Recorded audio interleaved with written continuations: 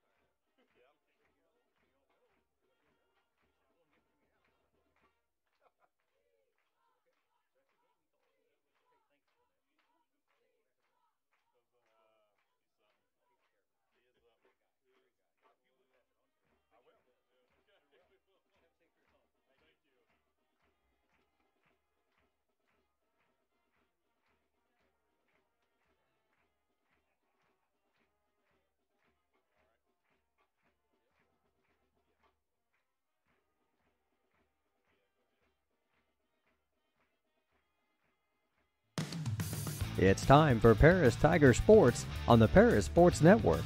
Brought to you by Step Farms and Excavation, Seed Solutions, Chip and Bethany Keys, Terry Elliston State Farm Insurance, Illini IFS, Country Financial, the Edgar County Community Foundation, Stewart and Carroll Funeral Home, and our affiliate sponsors Moody Farms, Tom and Marnita Stuck, Jim and Kay Taylor, Darren and Erica Colmeyer, Paul and Kathy Porter, and the Mary Lou Pine family.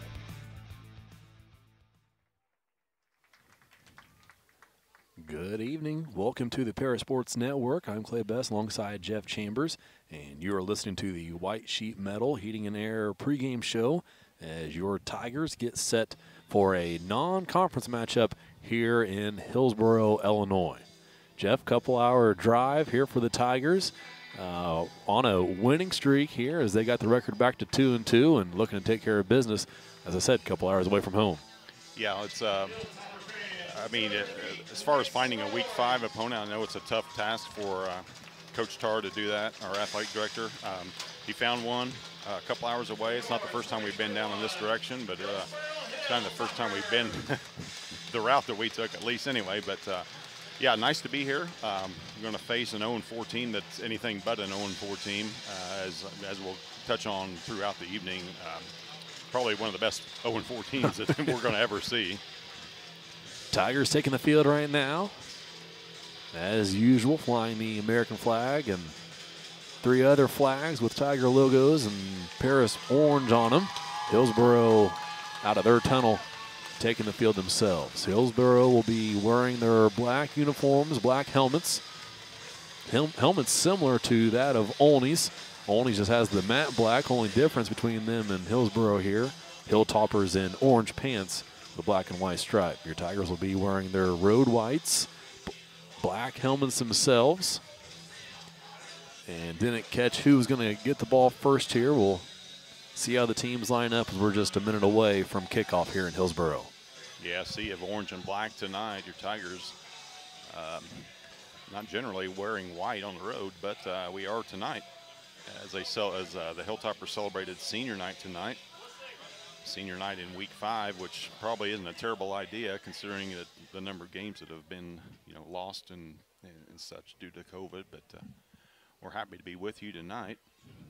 Apparently the band's going to play the school song one more time.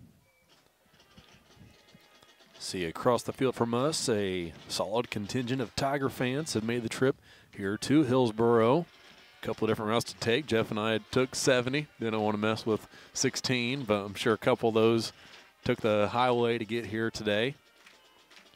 Yeah, I've seen enough corn and beans. I, uh, I just as soon get here as quick as I can as instead of going a two-lane highway route. But uh, anyway, it's it's great to be with you guys uh, tonight. Make sure you comment and make sure you like and subscribe to our channel so that you don't miss any Paris Tiger action, whether it be volleyball, whether it be football, basketball upcoming, even some junior high sports mixed in there as well. And uh, haven't seen the results yet for the Crestwood Lady Eagles. Uh, partner Clay is going to check that right now as they uh, compete in the state tournament.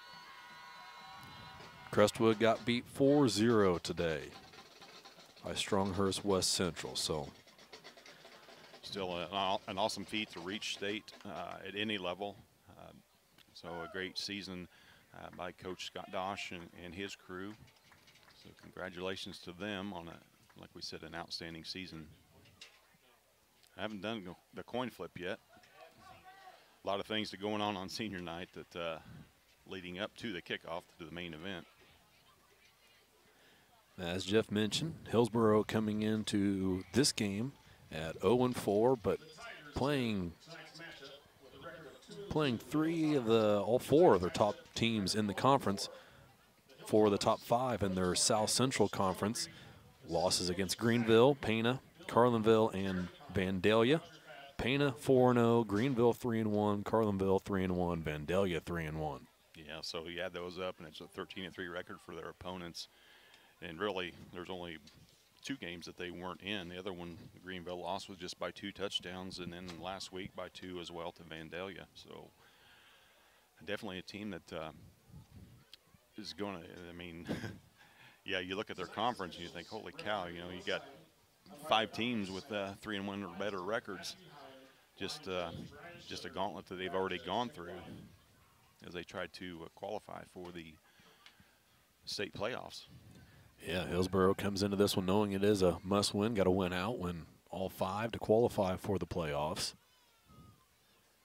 Tigers still needing a few wins themselves, sitting at two and two after the win last week against Dugger Union. And a week before that, uh, squeaker by as they got by Lawrenceville on the road at 14 to six. Every game except for last week, Clay has been a tight battle coming down to the last possession. You know, Newton was a one-point loss, and Casey in the last minute lost by two. So Tigers uh, know how to compete in, in tight games. Now it's just a matter of winning those tight games, and hopefully that Lawrenceville will be a springboard to to the remaining uh, five weeks of the season, which we need three wins out of.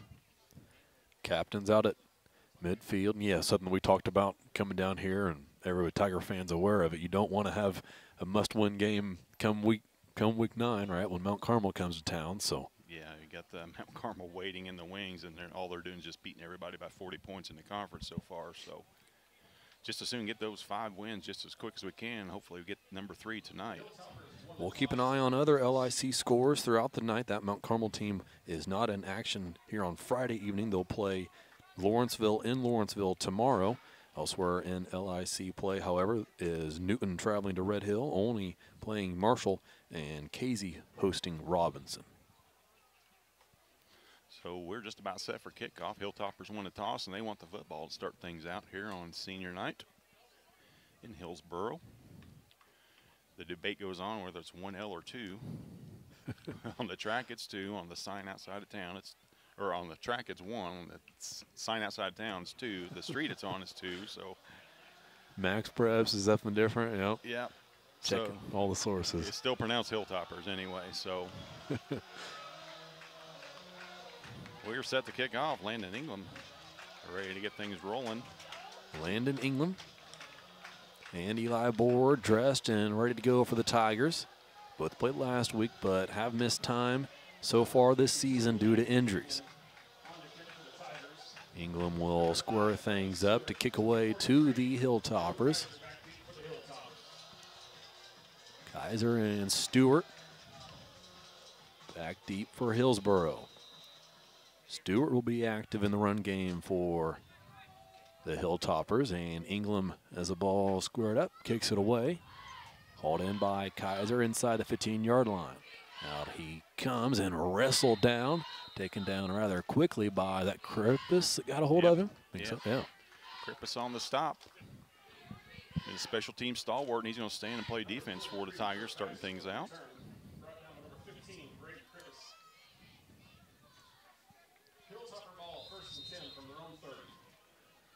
Quarterback Zane Duff will head into the huddle for Hillsboro. 5'10 junior, listed at 180 on the roster.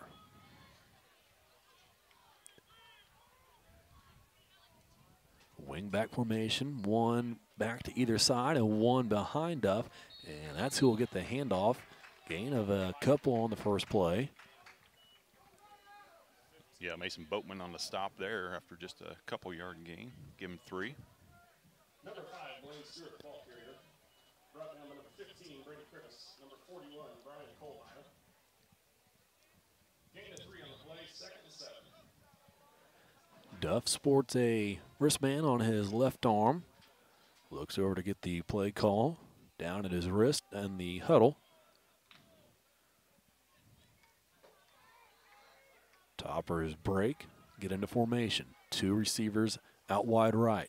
Here's a snap to Duff and a handoff up the middle. Two or three more in a cloud of dust. Get used to seeing that all night. And it'll be third and short for Hillsboro. Blaze Heighton, ball carrier on that one. We'll give him three on that one. So, uh, Hilltopper team that uh, definitely stresses the run, as we were told up here in the booth.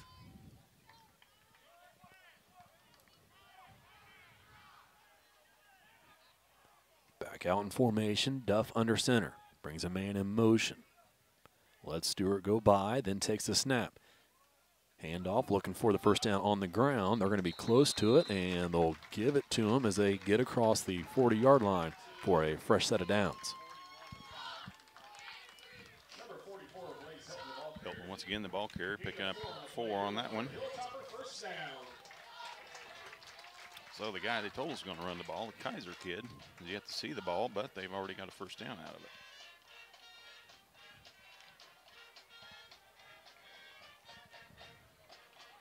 First and 10 for Hillsboro, two minutes gone by. Duff under center. Duff himself will carry the ball for this topper offense. This time fakes one handoff, then gives it on the end around. Using one blocker to block three Tigers was Kaiser. After dancing around, he does pick up a few. It'll be second down. Kaiser looks like he might have an extra gear, Clay. He's just dancing and dancing and just waiting to dart. Have to keep an eye on that fella as the night goes on. Starters on defense for the Tigers Ethan Dick, Ethan Curl, Norman Phillips, Nick Moeller, Brady Krippus, Braden Atkinson, Brian Kohlmeyer, Mason Boatman, Jeb Fry, Gabe Winans, and Logan Bartley. That'll be second and seven. Duff back under center. Two receivers out wide to the short side. Now sends a man in motion. That's Stewart. This time Duff will carry it himself. Has his hand on a lead blocker. Now definitely taken down after Morford was leading the way for him. Quality gain there for the quarterback. It'll be third and short. Five on that. Just riding on the coattails of his blockers that time was Duff. So I mean, different formation we've seen thus far, Clay. I mean, they ran what five plays, six plays, and we've seen six different formations.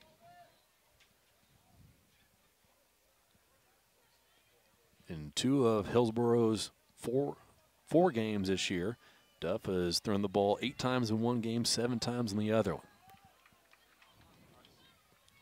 This time Duff takes a snap, gives a handoff up the middle, and powering through for first down pickup and then some across midfield. So Helton's the heavy lifter, it appears, for the Hilltoppers, as he's uh, been called on all, all the short yardage plays thus far. Helton scored the only touchdown that Hillsboro had against Carlinville last week.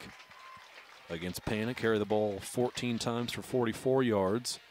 And against Greenville, carry the ball 17 times for 58 yards. Making a motion to the right this time. Fakes one handoff, then gives it to the second man through in Stewart. And the biggest gain of the game so far for Hillsboro will bring up second and short. Go ahead, go ahead and give him eight yards on that one. Braden Atkinson on the stop for the Tigers.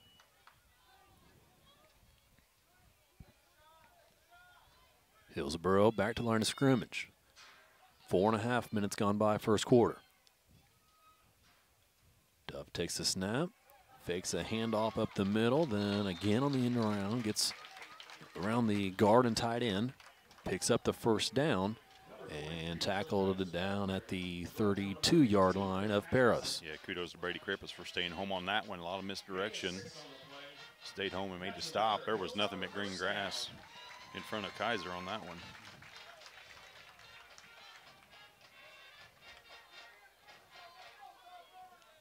Toppers break the huddle. Duff under center. Sends Compton from the right to the left side of the line. Now Stewart in motion. Handoff from Duff. Is that Helton on the carry there again? Hilton on the carry and Kohlmeyer on the stop. Give him a couple. Brought down by number 41, Brian Kohlmeyer. Gain of two on the play, second and eight.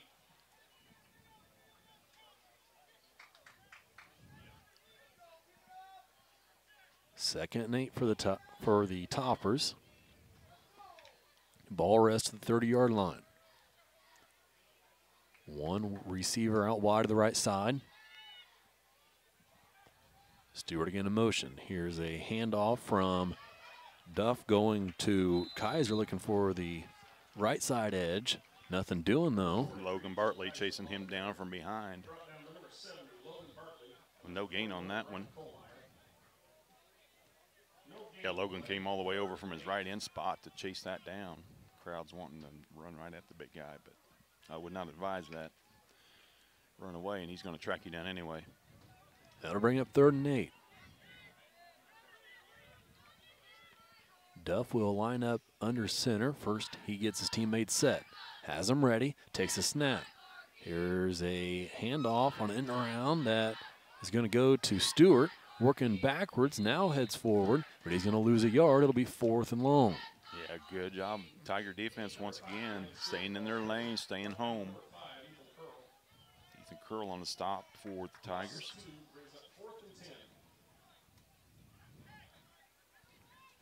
No punter in sight as the Hilltoppers have eaten seven minutes of the first quarter and counting. Tigers have yet to have their hands on the football. Duff headed to the line. Under center. Two receivers out wide right. Duff takes a snap. To roll out and pass. Still dropping back. Lobs one towards the sideline, and it's incomplete through the intended receiver's hand. And that'll be a turnover on down. Tiger defense holds. Good job by the Tiger defense of uh, weathering that first storm from the Hilltoppers. They have the ball in pretty decent field position at their own 32. 4.45 left in the first quarter, and we get to touch it for the first time. Out route from the topper receiver. Would have been well short had he made the catch anyway. Tigers defensive back able to contain the receiving routes. Now their offense takes over. A handoff up the middle to Colmeyer. Pick up uh, five on the play for Brian. Straight ahead for BK. First play from scrimmage for the Tigers. Ethan Dick lines up in shotgun. Receiver either side and one behind him. Handoff goes behind him. Looks like Up Moeller the there. Yeah, looks like it. Gain of three more. For Moeller, it'll be third and short. We'll call it third and three here.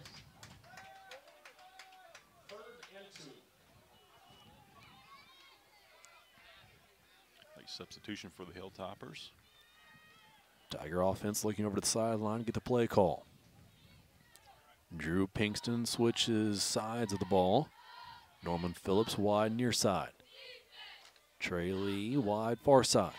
Dick and shotgun takes a snap. Handoff Colmeyer has room to work. Is going to pick up the first down and get near the 45 yard line of the Tigers. That'll reset the downs for Paris. Just off left tackle, nothing fancy there from BK and Coach Claude. First first down of the night for the Tigers.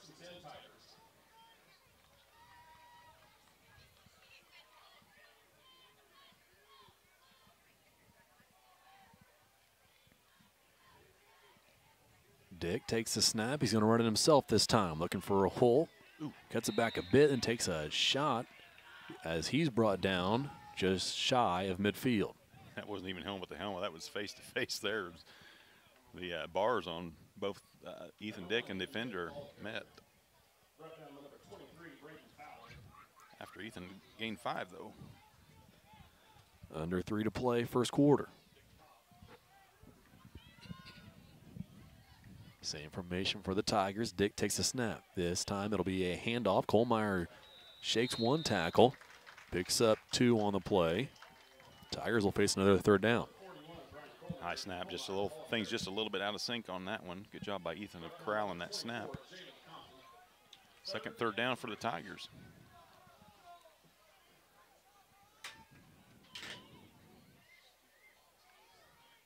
Paris offense looks to the sideline. Play call still coming in. 15 seconds on the play clock. Down to 10 seconds. Tiger offense set. Dick and shotgun. Takes a snap. hand Handoff Colmeyer. Colmeyer looking for the first down on the ground, and he's not going to get there. Gain of just one on the play. It'll be fourth down. Yeah, he got grabbed right around the collar that time. Looked like he had some daylight in front of him, but not to be. Looks like a Yeah, I believe say they- official timeout, huh? Yeah, BK's got some equipment damage, and that comes from uh, being grabbed in the face. Officials missed that one. Teams are both headed to the sideline.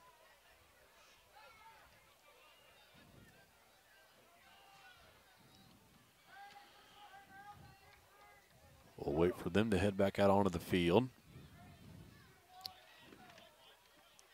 Head official wants a word with Hillsboro's coach before we get back to action.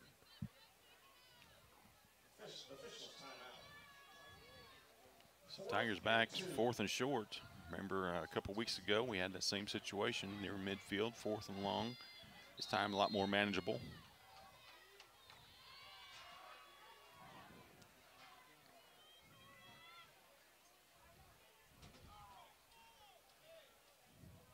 Getting ready to say this is the quickest first quarter ever, but Colmeyer in the backfield.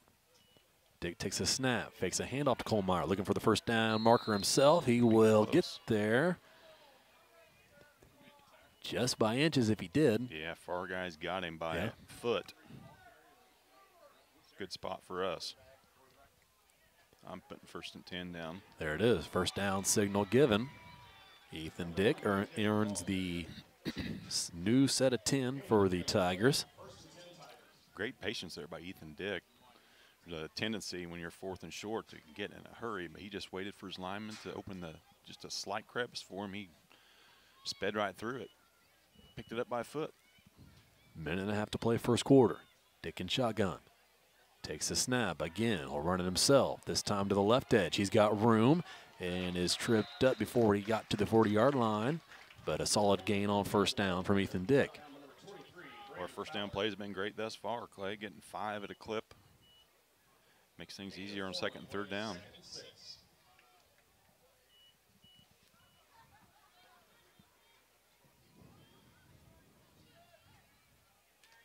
Norman Phillips wide to the left. Trey Lee wide right. Curl, Colmeyer, and Moeller in the backfield with Ethan Dick. Dick calls for the ball, takes a snap, handoff Moeller. Moeller securing the football will gain just a yard on that play. It'll be third down. Starters on the line for the Tigers Mason Boatman, Landon Ingram, Camden Crowder, Cade Williamson, and Logan Bartley.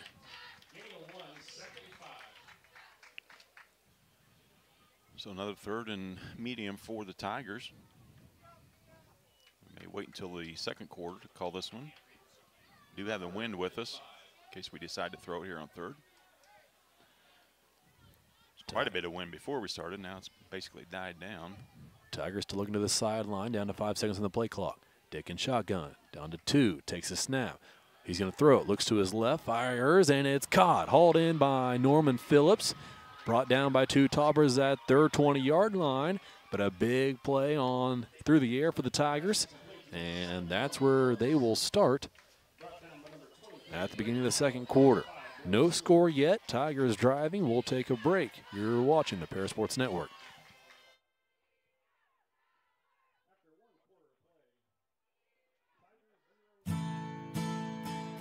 Our affiliate sponsors would like to wish the Tigers the best of luck. Moody Farms, Tom and Marnita Stuck, Jim and Kay Taylor, Darren and Erica Colmeyer, Paul and Kathy Porter, and the Mary Lou Pine family.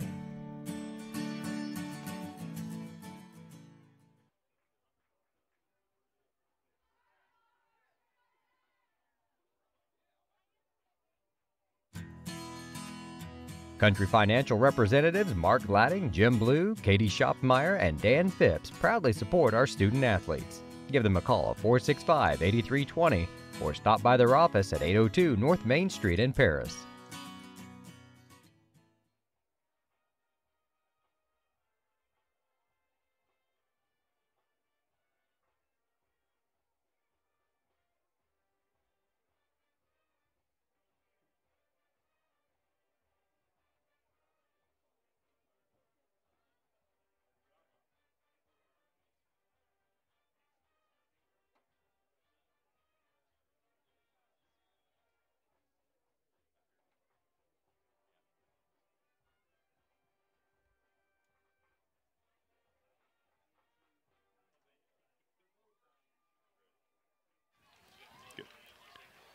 Second quarter about to get underway here from Hillsboro. Tigers driving after the pass completion to Norman Phillips. It'll be first and 10 Tigers. Yeah, right in front of us, Clay. Great route ran by Norman. Good throw by Dick, and even better catch by Phillips on that one for a 20 yard gain. Dick in shotgun takes a snap. Hand off. Moeller breaks it outside. No, dragged down by the back of his uniform. Just a gain of one and a half. It'll be second down Tigers. Oh, he had a lot of green in front of him on that one. Touchdown saving tackle there by the toppers.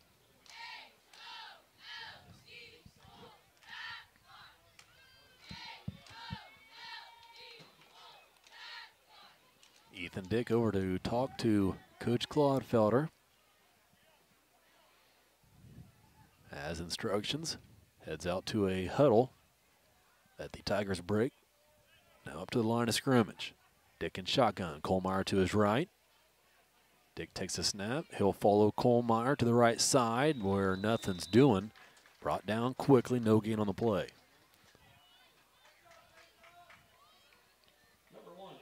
Yeah, running behind Ethan Curl. Ethan slipped and fell, and he was the lead blocker for Ethan on that one. So no place to go. Loss of one.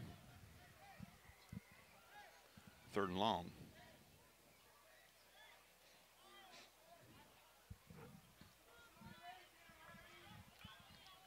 Tigers back to the line of scrimmage. Two receivers out wide either side. Dick in shotgun. Takes a snap. Looks to his left.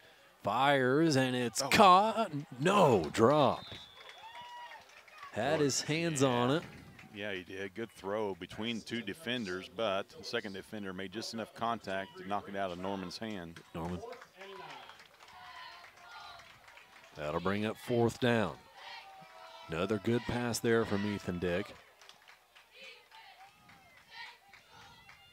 Yeah, you can see that play developing if you're watching. You got a great angle on it. Norman cut right between, past the first one, front of the second one, and the ball was there waiting on him. He had it briefly, but the contact just broke it loose from his grip. Second, yeah. fourth, nine, or second, fourth down for the Tigers this drive. Again, lining up with two receivers wide either side. Dick takes a snap. Will pass. This time looks right. Floats it over the middle and too high for Eli Board, who has checked into the game. So he has a word for the topper linebacker who still put a hit on him. Yeah, first time on the field for Eli, and he's greeted rather rudely by so the toppers. That'll be a turnover on downs. Hillsboro set to start their second offensive possession of the game. Zane Duff on his way to the huddle for the toppers.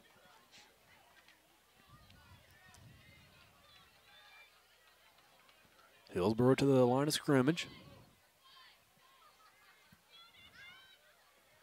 Duff under center, again, directing traffic. Takes a snap, hand off, comes around the left end after the fake ball. up the middle. That ball is out but recovered by Stewart.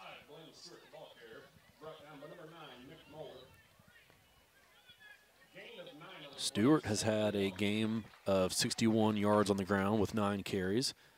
And then against Greenville, had six carries for 22 yards. Also caught two passes for 20 yards. Second short here. We'll see if the Hilltoppers take a shot down the field or just continue with their power. They got Helton in the backfield. He's their power back.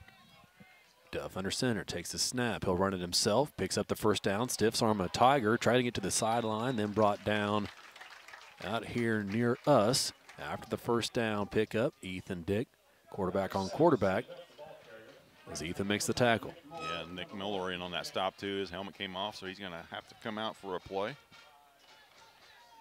Duff, second rush, got 13 yards thus far, gain of five and gain of eight.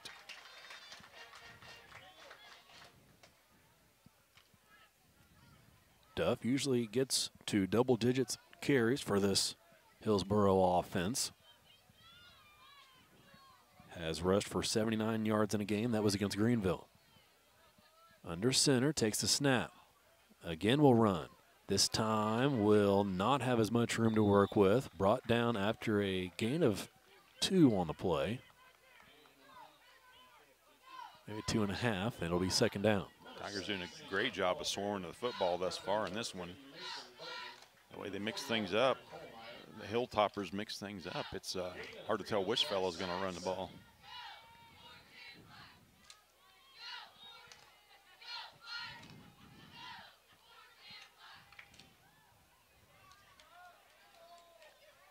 Duff and the Topper offense break the huddle to the line of scrimmage. Duff under center on second down.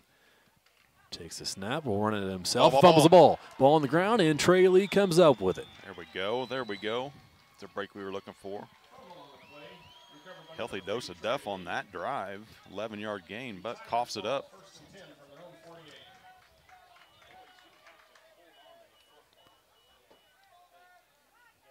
Couldn't see who knocked that loose, but Trey Lee, right man, right spot, taking the place of Moeller, who was out for the play. Calvin Rigdon came up from his safety spot. Now he made the hit to help jar the ball loose. One Tiger was already in the process of bringing Duff down. Yeah, we got to take a timeout. We had a late substitution. Hilltoppers were also trying to get a fella in, so Yeah, Hillsboro will take the timeout. So timeout on the field. We'll take just a quick break here and be back after the timeout on the Paris Sports Network. Diamond Brothers Insurance LLC has been providing security and peace of mind for individuals, businesses, and government entities for over 150 years. Their agency philosophy is to serve their communities with excellent service, advanced technology, and comprehensive insurance protection. Visit any of their 44 locations throughout the state of Illinois, Indiana, and Wisconsin. You can give them a call at 465 5041 or stop by 111 Sheriff Street in Paris.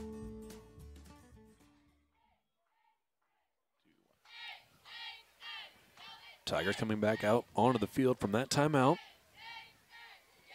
It'll be first and 10 from the 48 of their side of the field.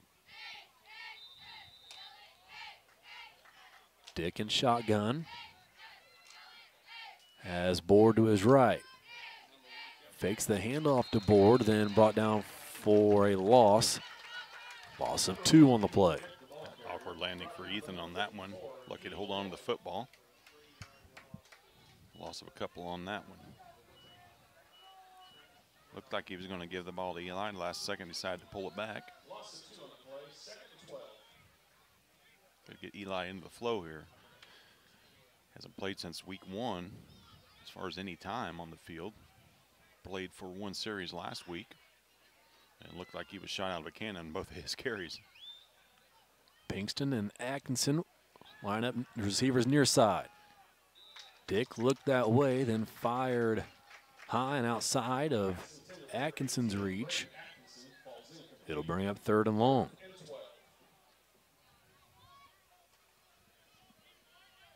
Tigers going left to right into the, what little wind there is out here now.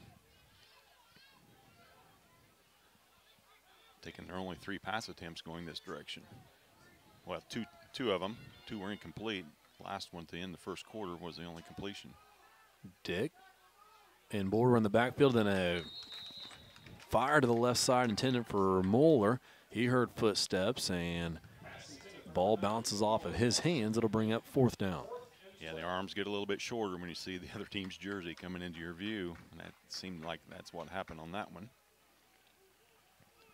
England into punt for the Tigers. First punt of the day for either team. This will cap the Tigers' second offensive possession of the contest. Two for either side. Hillsboro to start their third. England is going to land this one inside the 10, and at the six yard line is where Trey Lee will mark it dead. Great punt there, Landon England. Yeah, 51 yard punt there by Landon. Better than that, we've got him inside the 10. 7.26 remaining, second quarter. Feels a lot like Newton game, don't it, Jeff? Exactly, exactly. Difference is we have Landon this time, so need be, we've got an extra point kicker.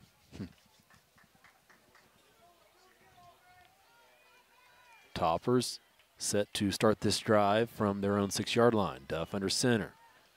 Again, will run it himself, bounces off of his own teammate, tries to get outside, but can't. Wrapped up and taken down, but a flag comes in. Yeah, Tigers clapping. over the place.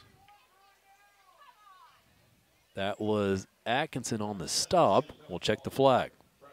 Two different flags from two different officials. We'll see who see, see who saw what. If it's against the Hilltoppers, it's going to be a three-yard penalty at max. I would, looking at the replay, should be on the Tigers. We'll see if they saw the same thing I did. Yeah, it's a personal foul against us. Tiger and Topper were locked up in a battle there, and that continued after the play. Didn't catch a number, but Topper got thrown down, and the ensuing penalty is on the Tigers. So that's going to move the ball all the way out to the 23-yard line of Hillsboro. 15-yard penalty. First and 10 from the Hilltopper 23. Had him backed up, and then a boneheaded play, mistake by the Tigers. Gives the ball, gives breathing room to the Hilltoppers. Duff back under center. Deep at the line, shifting. Here's a fake handoff, then given away to Stewart. Colmeyer tripped up, or Colmeyer on the stop that time. Blaine Stewart, the ball carrier. Give him four on that one. 41, Brian Colmeyer. Gain of four on the play, second and six.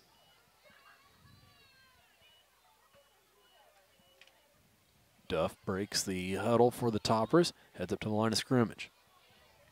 All 11 bunched in tight there for Hillsboro. Flag thrown, and legal motion going to be called on Hillsboro. Yeah, with all the motion in the backfield pre-snap for the Hilltoppers, just a matter of time before they do something like that. Back it up, make it second and 11.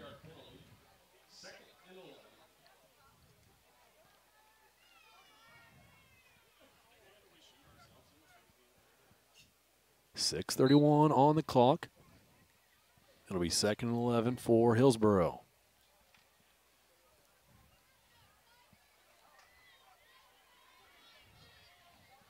Toppers line up just about the same way. Duff under center takes the snap. Handoff up the middle, gain of a couple on the play for Helton.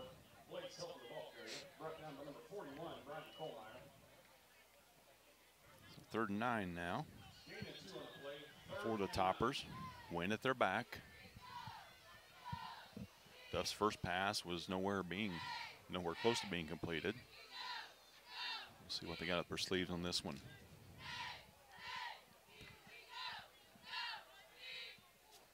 Toppers break the huddle with just under six minutes to play before halftime.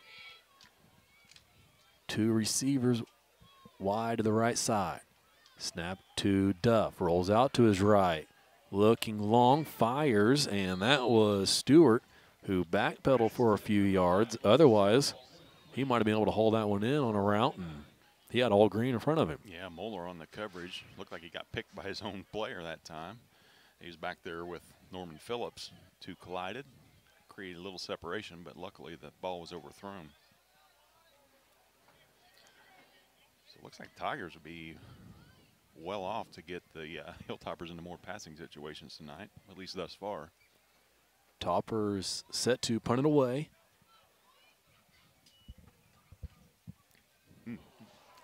Nearly blocked. I think that was England who forced pressure, and a punt sails out of bounds over the Hillsboro bench. Short punt. We'll see where it's marked at. Tigers are going to start with great field position. That's the third time in two weeks, Clay, that the punts sailed into the stands when the Tigers have been on the field. Something you haven't seen for, in my case, 54 years, and I've seen it three times in seven days. Tiger offense back out onto the field. They will start at the Hillsboro 34 yard line. Here's a snap to Dick. Hand off to Board. There we go. Runs over a topper and picks up a couple more after contact inside the 30 yard line. You know that you know that Eli's got a ton of stored up energy. he's got that shoulder kind of dangling a little bit, so he might have dinged it on that first carry, but he's missed that contact. You can tell he's looking for it.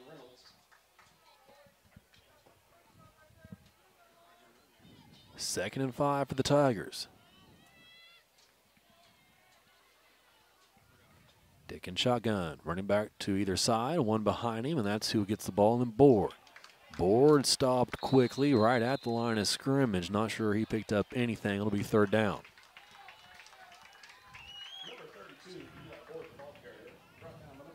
Give him one on that. We'll give him one.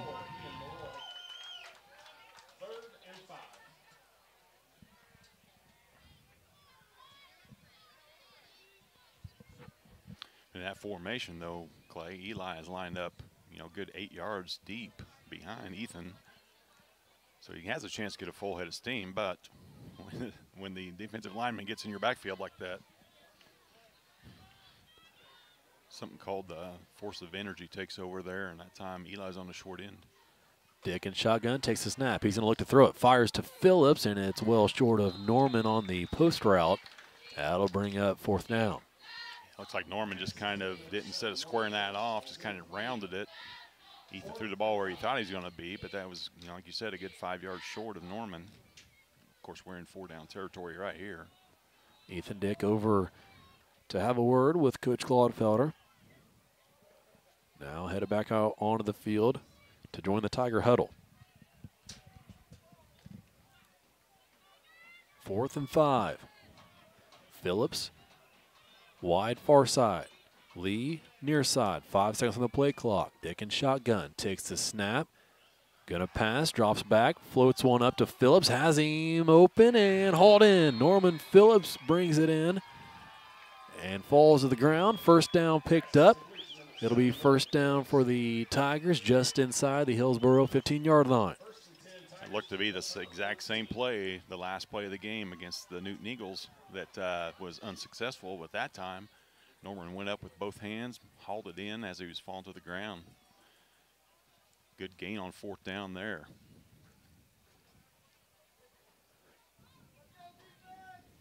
First and 10 for the Tigers. Ball just inside the left hash at the Hillsboro 14 yard line. Dick lines up with three running backs around him. Takes the snap, handoff Board. Board running straight forward, picks up a couple, then driven backwards by the topper defense.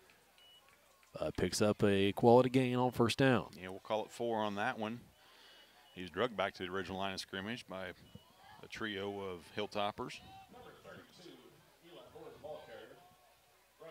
Could see Eli back and running hard like Eli does.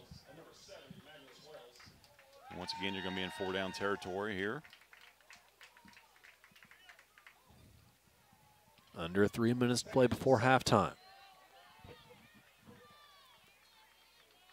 Dick and shotgun. Two receivers wide left, one wide right.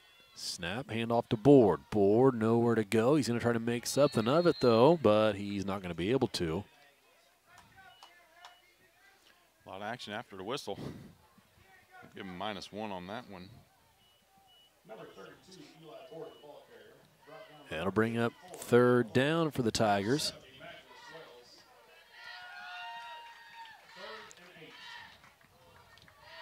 Approaching two minutes to play before halftime. Tigers using every second of the play clock. Be just about right at two minutes left when they snap the ball this time. Dick and shotgun. They might wait and take a timeout. Now there's three seconds on the play clock. Dick lines up and able to get it off.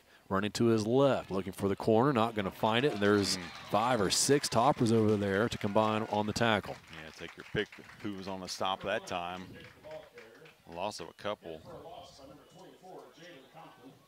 That may just knock us out of what uh, field goal range that uh, Coach Claude's comfortable sending England out there for. Going into the wind. We're going to make sure we have the last well, close to the last possession of this half at least. Fourth and 11. Hillsboro still has two timeouts, but they appear to be content with letting the Tigers run this one all the way down before they call a timeout. They have all three. Coach Claude Felder will use one here. So it'll be fourth and 11 when the Tigers come back out on the field from this timeout. 113 left before halftime. No score yet in this one. Yeah, fast moving first half. Thus far, neither team able, well, that's the deepest penetration for either team in this one. The Tigers are knocking on the door, but they're facing the fourth and 11 here when we come back out of this timeout. I'd like to give a shout out while we got some time, Clay. Go ahead and give a shout out to our golf team as they took first place in the Little Illini Conference tournament at the Eagle Ridge Golf Course yesterday. First time since I believe 2002. I think I saw that somewhere that uh, Tigers were able to capture uh, a uh, conference title. Uh, so just a great job to Coach Ron Wagner and his squad. Luke Bradley shot, uh, I believe he shot a 70, I want to say a 78. Take second place in the conference. So congratulations. Fourth and 11. Teams back out onto the field. Tigers line up in shotgun. Receiver out wide either side. And Get Hillsboro jumps. And it will be offside on them. Encroachment on the defense. That's an easy way to get five right there. Do that again, and it's just fourth and one.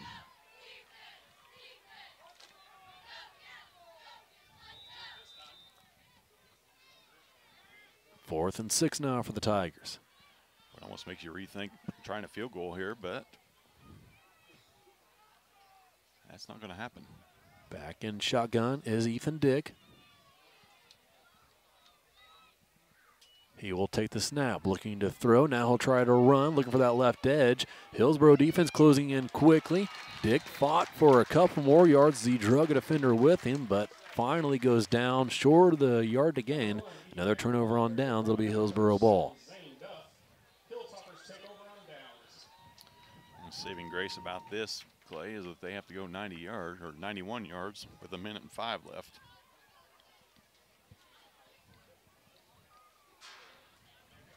One oh five remaining.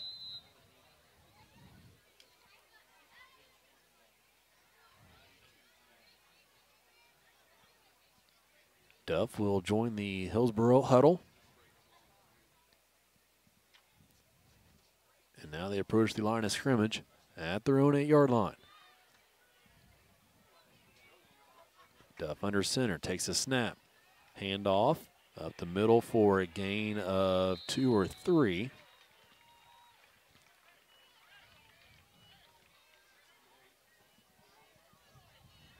Bring up second and seven, less than a minute to play before halftime. Duff looking for the play call. Kaiser will bring it in to him. Look like the Hilltoppers are anxious to try to drive the length of the field, so it looks like one more snap, and we head to halftime all knotted.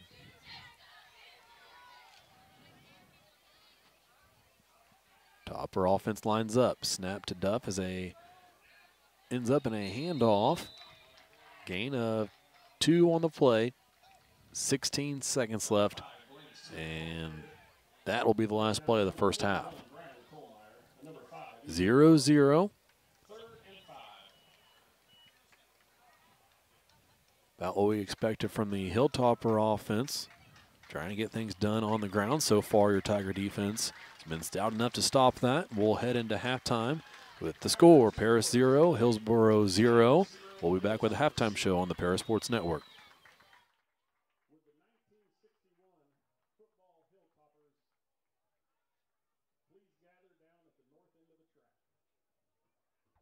See Diamond Financial for all of your income tax needs.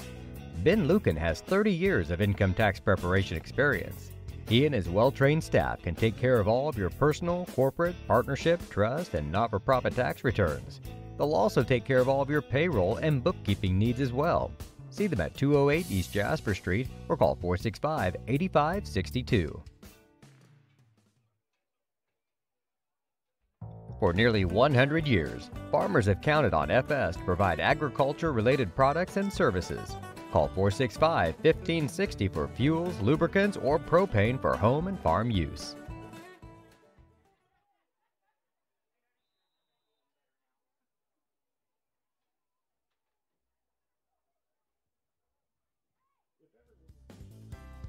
Ingram's Waste Disposal offers residential and commercial trash pickup, commercial compactor service, roll off service, and mini roll off services. Call Scott, Kathy, Mary Jo, or Bethany at 465 3335. Ingram Waste Disposal, proudly serving Edgar and Clark counties since 1950.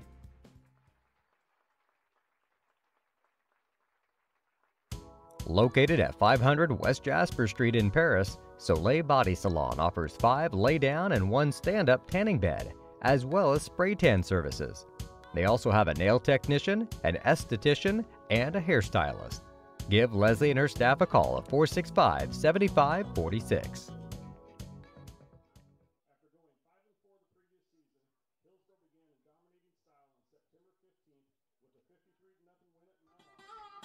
Located at the Paris Airport, Seed Solutions wants to wish the best to all Paris Tiger teams this season.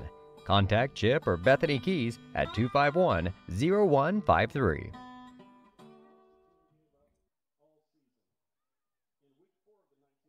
Terry Elliston has been your good neighbor State Farm agent since 1981.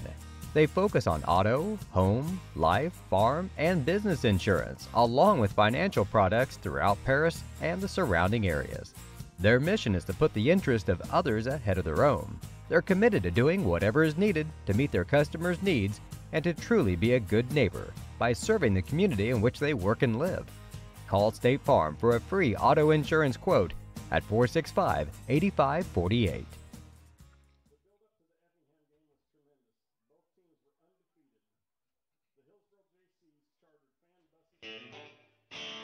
Our pregame show is sponsored by White Sheet Metal Heating and Air Conditioning, your hometown boys for over 50 years, offering 23 and a half hour service.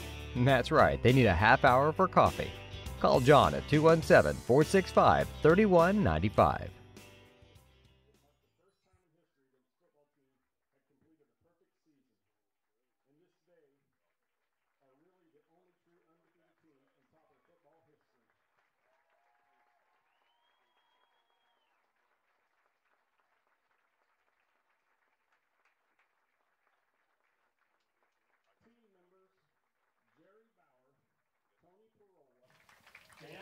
Welcome to the halftime show on the Paris Sports Network. We are in the middle of a scoreless battle between your Paris Tigers and the Hillsboro Hilltoppers. Few stats that uh, mainly on the ground that I'll turn over to my partner Jeff Chambers to let you know about. Yeah, not a lot going on for either team. Uh, for the Hilltoppers, quarterback Duff is 0 for 1 or 0 for 2 on pass attempts. No yards, obviously.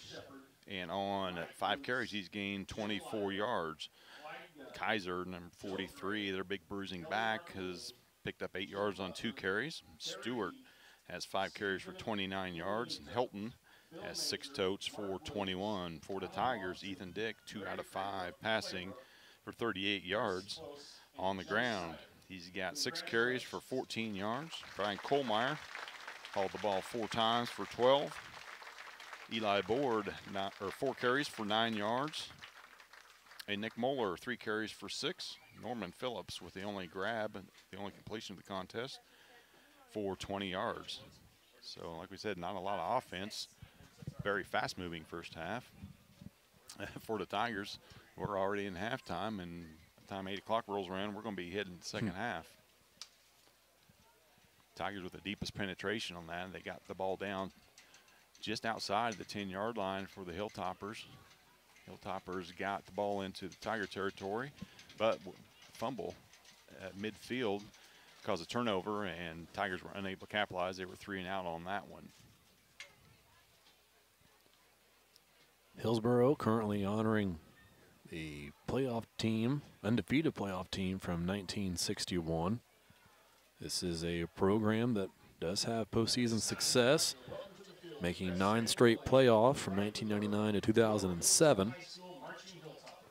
Aaron Duff, the athletic director, was the football coach last year. Joe Reed, this is his first year coming over from Athens High School, where as an offensive coordinator helped that high school make it to 10 straight playoffs. So we mentioned the record that Hillsboro has, but both history and the rest of their schedule are lining up for what should be a competitive season as they try to make a push to get into the playoffs. You know, always fun to follow the non-conference teams that we play, you know, into the postseason just to see kind of, you know, where how we stack up against them. You know, we play them on that particular night, but just kind of see how they progress throughout the season as they head into the postseason if they do qualify for that.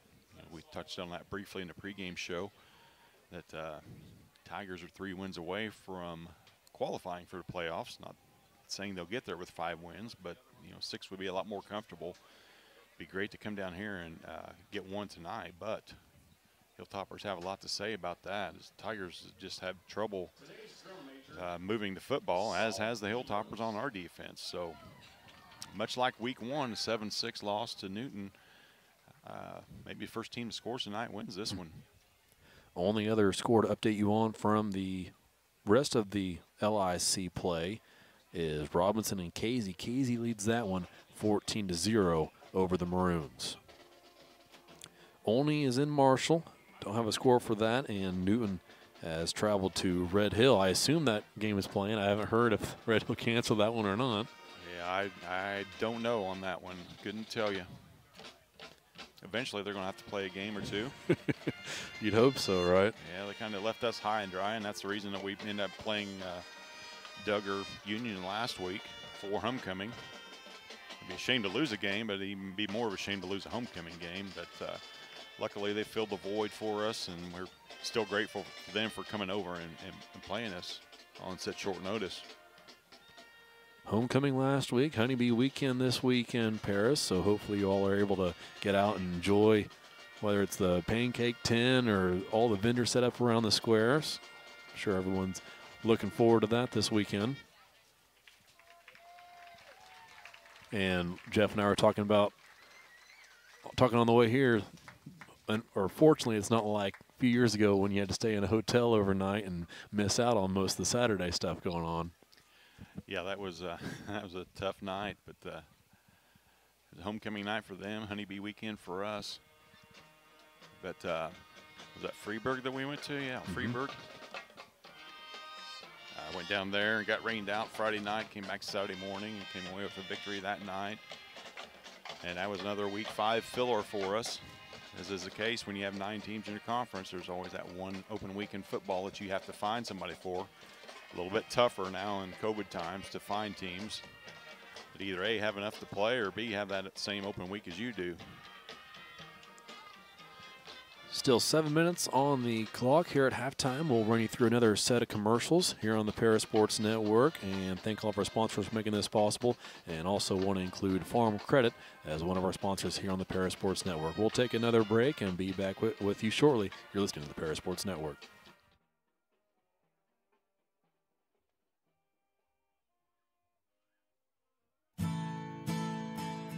Our affiliate sponsors would like to wish the Tigers the best of luck. Moody Farms, Tom and Marnita Stuck, Jim and Kay Taylor, Darren and Erica Colmeyer, Paul and Kathy Porter, and the Mary Lou Pine family.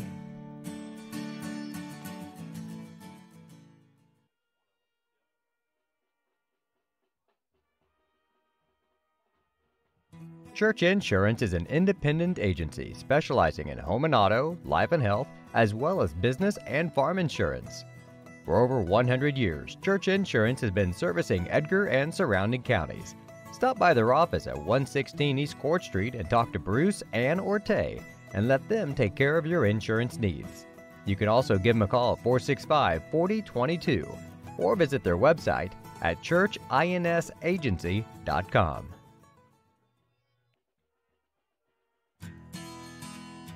Country Financial representatives Mark Gladding, Jim Blue, Katie Shopmeyer, and Dan Phipps proudly support our student athletes. Give them a call at 465 8320 or stop by their office at 802 North Main Street in Paris.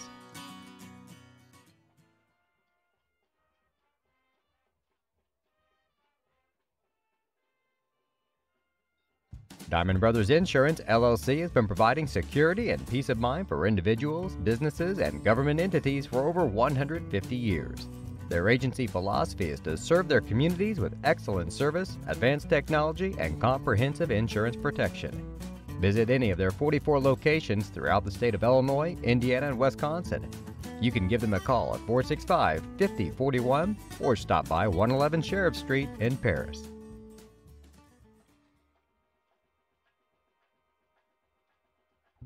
See Diamond Financial for all of your income tax needs. Ben Lucan has 30 years of income tax preparation experience. He and his well trained staff can take care of all of your personal, corporate, partnership, trust, and not for profit tax returns.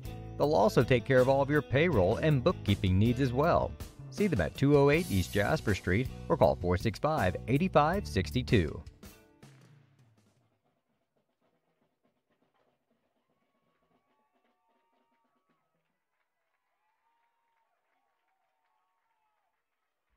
For nearly 100 years, farmers have counted on FS to provide agriculture related products and services. Call 465 1560 for fuels, lubricants, or propane for home and farm use.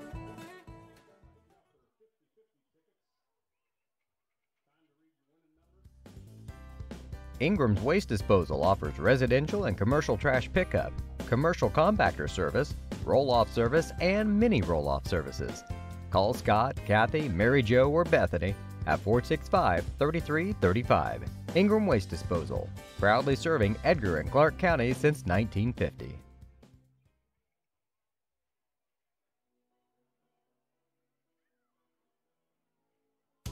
Located at 500 West Jasper Street in Paris, Soleil Body Salon offers five lay down and one stand up tanning bed, as well as spray tan services. They also have a nail technician, an esthetician, and a hairstylist. Give Leslie and her staff a call at 465 7546.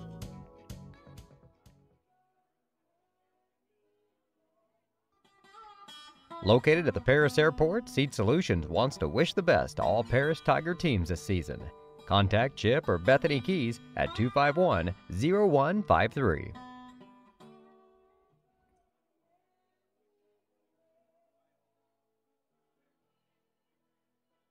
Terry Elliston has been your good neighbor State Farm agent since 1981. They focus on auto, home, life, farm, and business insurance, along with financial products throughout Paris and the surrounding areas. Their mission is to put the interest of others ahead of their own. They're committed to doing whatever is needed to meet their customers' needs and to truly be a good neighbor by serving the community in which they work and live. Call State Farm for a free auto insurance quote at 465 8548.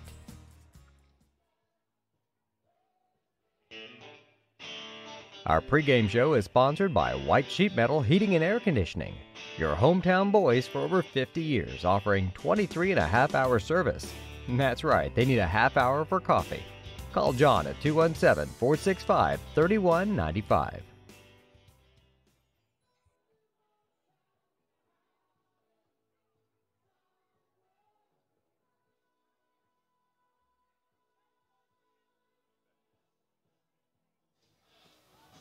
Back here at halftime on the Paris Sports Network.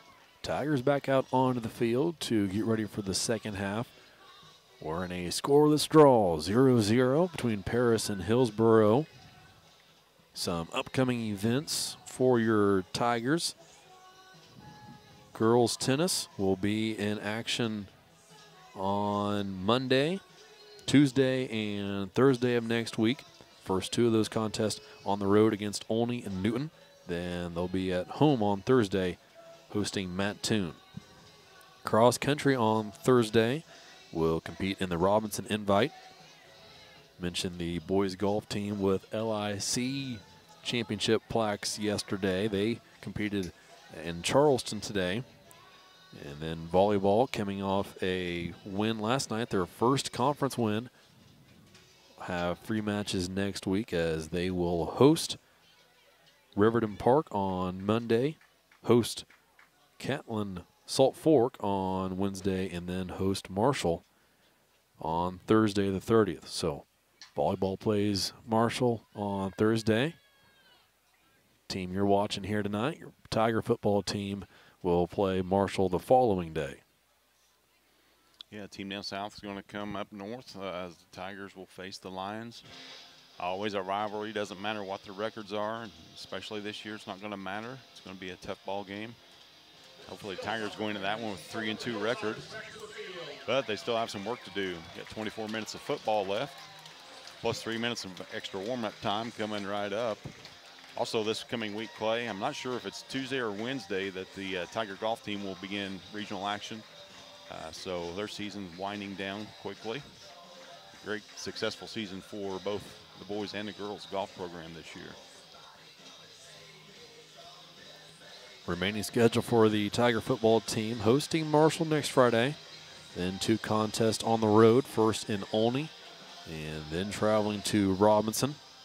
And then the week nine matchup against Mount Carmel, that'll be a home contest.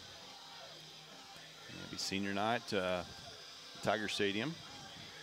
Coach Claude and the uh, Paris Tiger fans will say goodbye to their senior members, band cheerleaders, and football program. Always a big night for the Tigers. Senior night, big crowds in the stands. Encourage you all to come out uh, next Friday night for sure rivalry game. Marshall Lions travel well in spite of what their record might be. So we need to be out there loud and strong next Friday night. Less than two minutes left on the clock now as they did add the three minutes to the halftime clock. Team stretching out, getting warmed up. Probably more the same that we saw in that first half, right, Jeff? Unless somebody does score, then we'll see if either team changes up their philosophy. Yeah, we get to see a, a huge gain. I think the biggest play of the game, Clay, was the completion, the 20-yard completion to Norman Phillips at the end of the first quarter. Everything else has been, you know, 20 yards or less, and you know, kudos to both defenses for uh, you know shutting the other team down. We knew exactly what the Hilltoppers were going to do. Tiger's a little bit more unpredictable. Ethan was able to sling it around the yard a little bit, but uh, we know the Hilltoppers are going to run the football. We just don't know which one of the four or five guys in the backfield, excuse me, at any particular time is going to have the ball. So uh, good job by our defenders. You know, mentioned a couple times by them staying home, staying in their lanes, and continuing to do that in the second half. And you know, one play maybe may decide this one.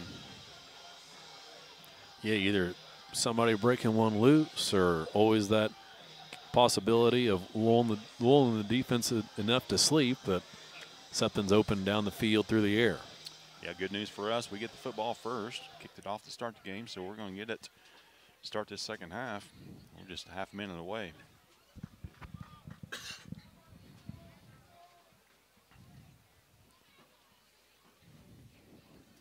Wind seems to be picking up a little bit, so you know, if it does come down to a field goal, that may factor into it, just depending on which way we're going to be going.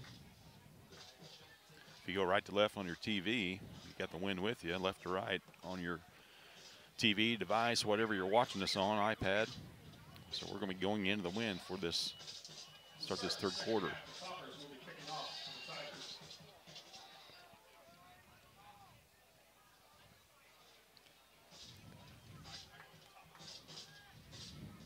Teams out on the field. Kickoff team for Hillsboro. And kick return team for your Tigers. Yeah, first time we've seen the Hilltoppers kick the ball of any sort tonight, so kind of be anxious to see if they've got a kicker. We'll find out right now. Speed back for us. That's for sure. Phillips, Atkinson back there. A couple guys are electric in the return game. So maybe a special teams play might decide this one. Phillips and Atkinson stand at their own 12, own seven yard line. Now step up to the 10. As they wait the kick. It is away on a hop fielded by Atkinson on the far sideline. Makes a cut, makes another one. Looking for that sideline. Carries a topper or two with him. Finally brought down just shy of the Tiger 40. Good return there by Norman. or excuse me, by Braden. Down to number 13. Left-footed kicker. You don't always see that for the Hilltoppers. It'll be Tigers ball, first and 10 from their own 37. Tiger offense back out onto the field. Nick Moeller, Trey Lee, and Drew Pinkston get set to line up near side. Drew's yet to see a target in this one.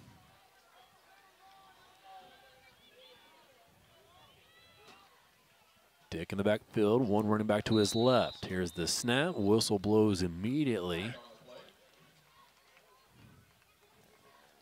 Ball start against the Tigers. Our second penalty. First one was a personal foul when we had the Hilltoppers backed up the shadow of their own goal post.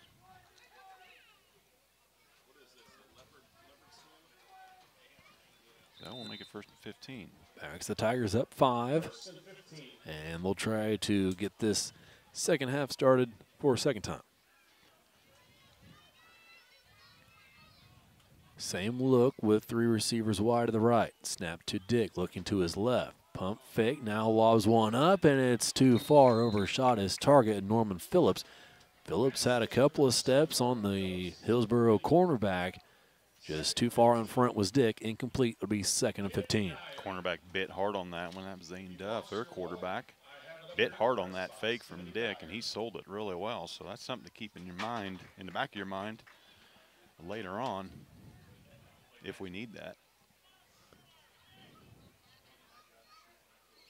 Now the trio of receivers will head to the opposite side, far side from us. Lee near side. Colmeyer replaced Board in the backfield. He stands to the right of Ethan Dick. Dick takes a snap, dumps one over the lineman of Hillsboro to Colmeyer. Colmeyer running flag thrown. Colmeyer is going to take this one to the house. No topper to catch him. Two flags are on the field. We'll check that as dozen players are already making their way back to the line of scrimmage. And that's going to be a illegal block against the Tigers. Sometimes you can get away with those, but not when you're right in front of three guys wearing black and white. It's a hold going to be against the Tigers. Oh, gone it. Tigers come out firing this half.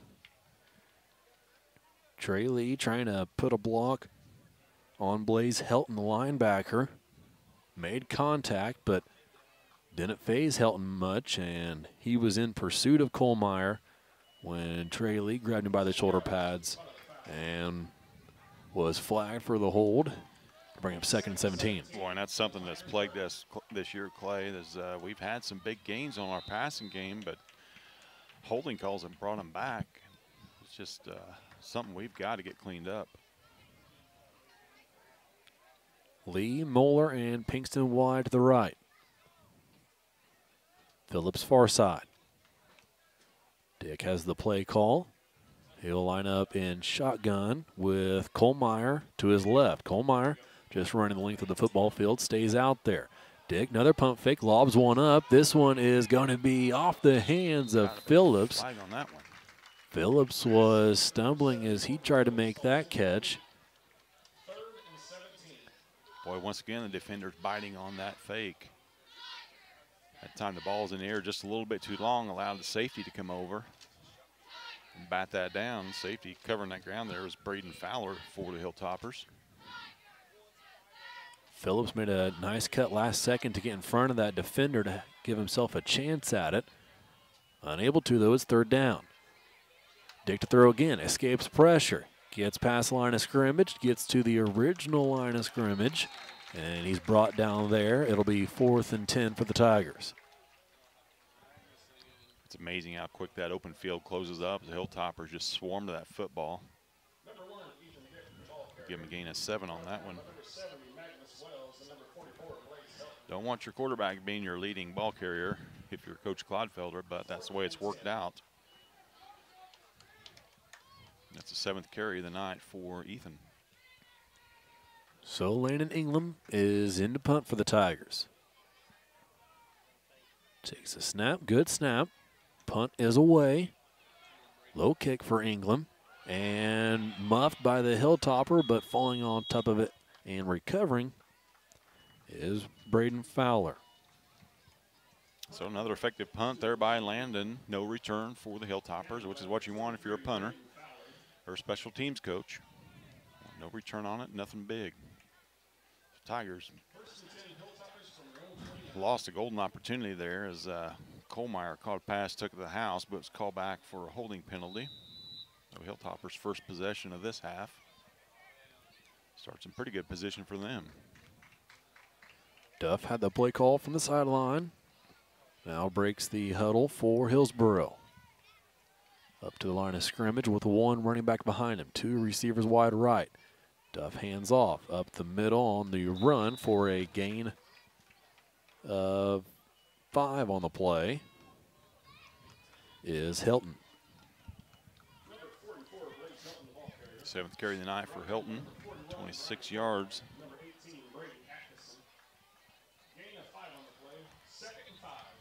Tigers trying to strip that football out of his hands, but Hilton had both mitts on that one.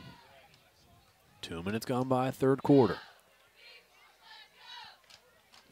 Duff again under center for this topper offense. Takes a snap, will run it himself, and wrapped up and brought down quickly.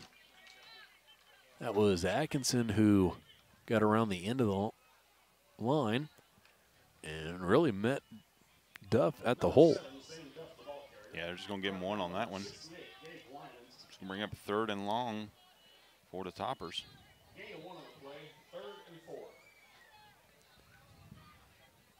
Third down for Hillsboro.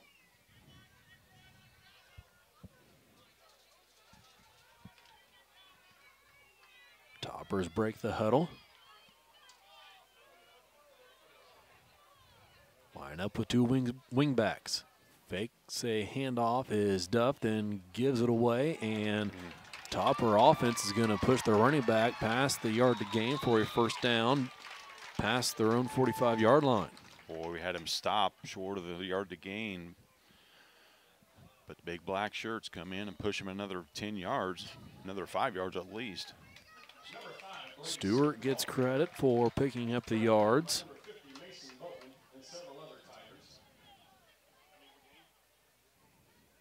So pick up a 10 on that one, third and five.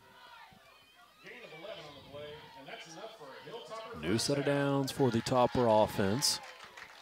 Duff heads back to the huddle. First and 10, Hillsboro. Duff takes a snap.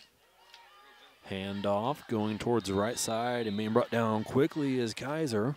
Yeah, Colmeyer right there sniffed that one out on the end around. Loss of one on that one.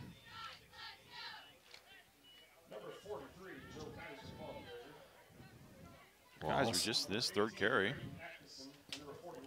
Loss of a foot or two on the play.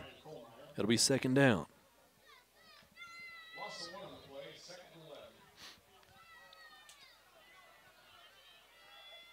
Duff goes back under center.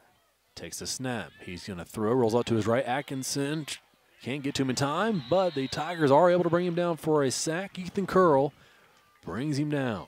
Yeah, Atkinson in pursuit, but he ran him right into Ethan Curl. So sack on that play. As appeared for all intents and purposes, that was going to throw that football.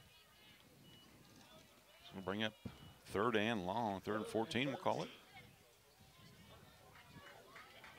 Huge sack there by Ethan.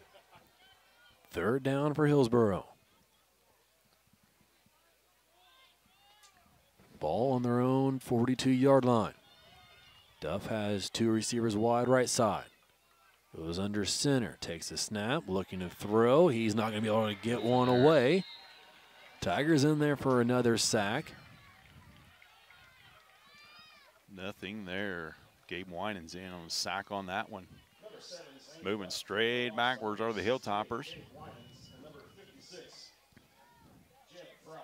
Be fourth and 16. Back deep to receive the punt is Nick Moeller. Now has Calvin Rigdon join him. Snap is given. Punt is away. There to receive it. No, on a bounce, lets it go past him is Moeller. And down to the five yard line is where it's touchdown by the topper coverage. And the Tigers will start there. Boy, you almost have to come up and field that one, don't you, Clay? I mean, he just gave him another 15 yards and backed us up inside our own 10. I thought he was camped underneath it, Mhm. ready and raring to go. Yeah. Bit of confusion there before the punt was even Yes. kicked away, right? Looked like Moeller was trying to get Rigdon in the right spot. And Yeah, and lighting's not super great here, so he, it may be an instance where he lost the ball.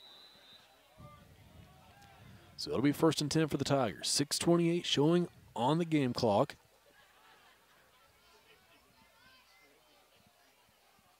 When Ethan Dick lines up in shotgun here, he will be standing just inside the end zone.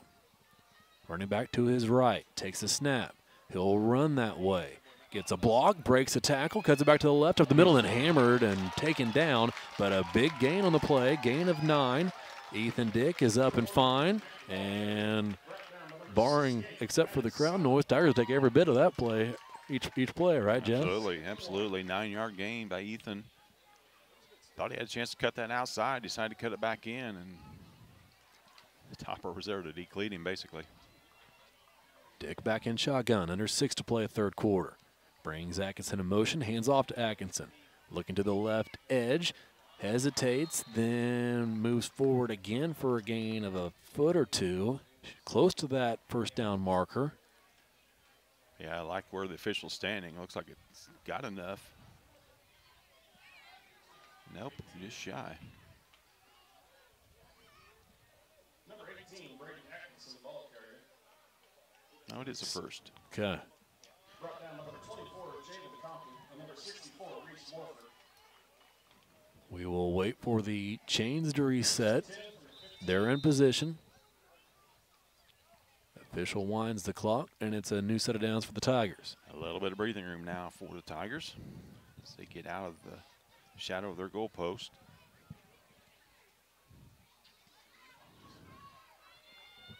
Dick in shotgun takes a snap. Again, will run it himself to the right. Breaks a tackle. Breaks a second one. Spins out of another hilltopper grasp. And then brought down after a gain of nine on the play. Yeah, there's some friendly fire there as the Hilltoppers. Number 70 and number 23 collided on that one. 23 's holding his arm out. Number one, Ethan Dick, the ball carrier. Brought down by number It wasn't a good landing for either one of them. But another nine yard gain for Ethan. Tigers looking to the sideline. Play call comes in. Dick in shotgun. Colmeyer to his right. Curl the mouse back. Atkinson to the right of the line. Comes in motion to the left. Here's a handoff. Colmeyer up the middle. Picks up the first down and then one. It'll be a new set of down for the Tigers. Yeah, two yard gain for Colmeyer, getting those tough yards between the tackles. It's the first time Colmeyer's touched the ball this half. 14 yards on the ground for him.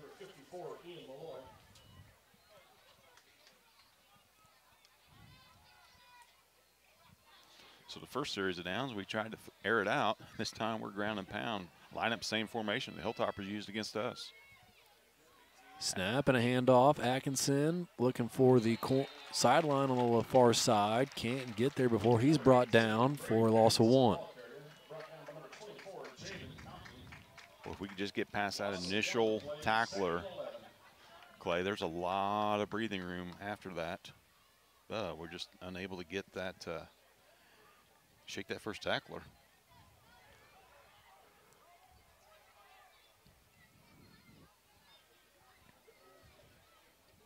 Handful of subs for the Tiger offense. Trey Lee, the receiver near side. Phillips, Moeller, Pinkston, far side. Dick and shotgun. Yeah, it's about Pinkston time here. Oh, middle's been open. Coach Claude's going to call timeout. Timeout called by Paris. 3.38 remaining, third quarter. We'll take a quick break and be back in the third quarter. You're listening to the Paris Sports Network.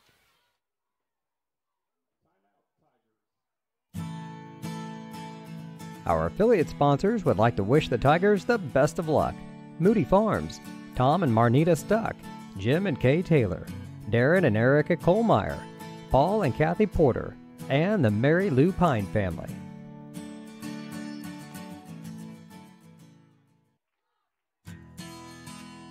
Country Financial representatives Mark Gladding, Jim Blue, Katie Schopmeyer, and Dan Phipps proudly support our student athletes. Give them a call at 465 8320 or stop by their office at 802 North Main Street in Paris.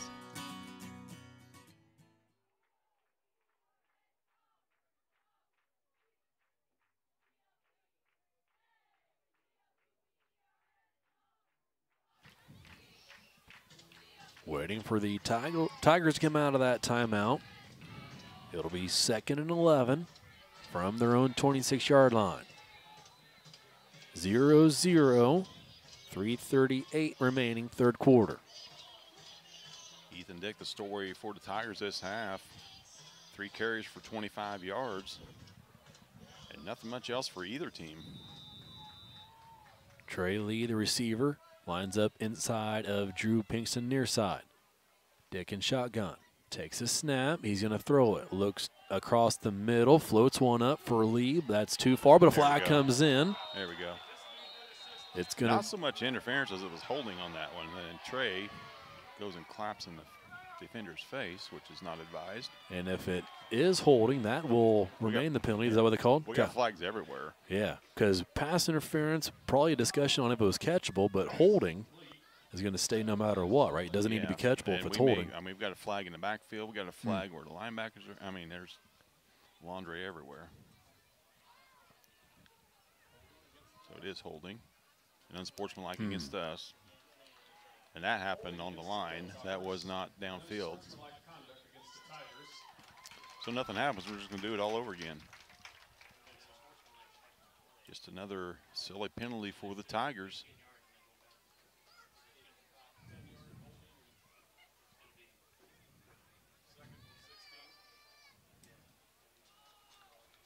Second unsportsmanlike of the night for the Tigers. Ethan Dick took a hit after releasing that ball. Might have been a case of one of his linemen get into the face of the defender that put the hit on Dick after the throw. I'll buy that. Stand up for your man. Still, and not advised. They're going to mark off the 10.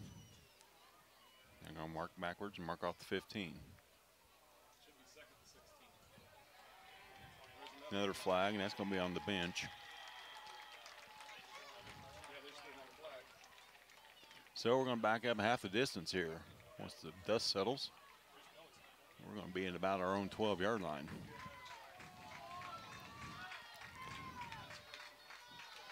There's a call from the head official.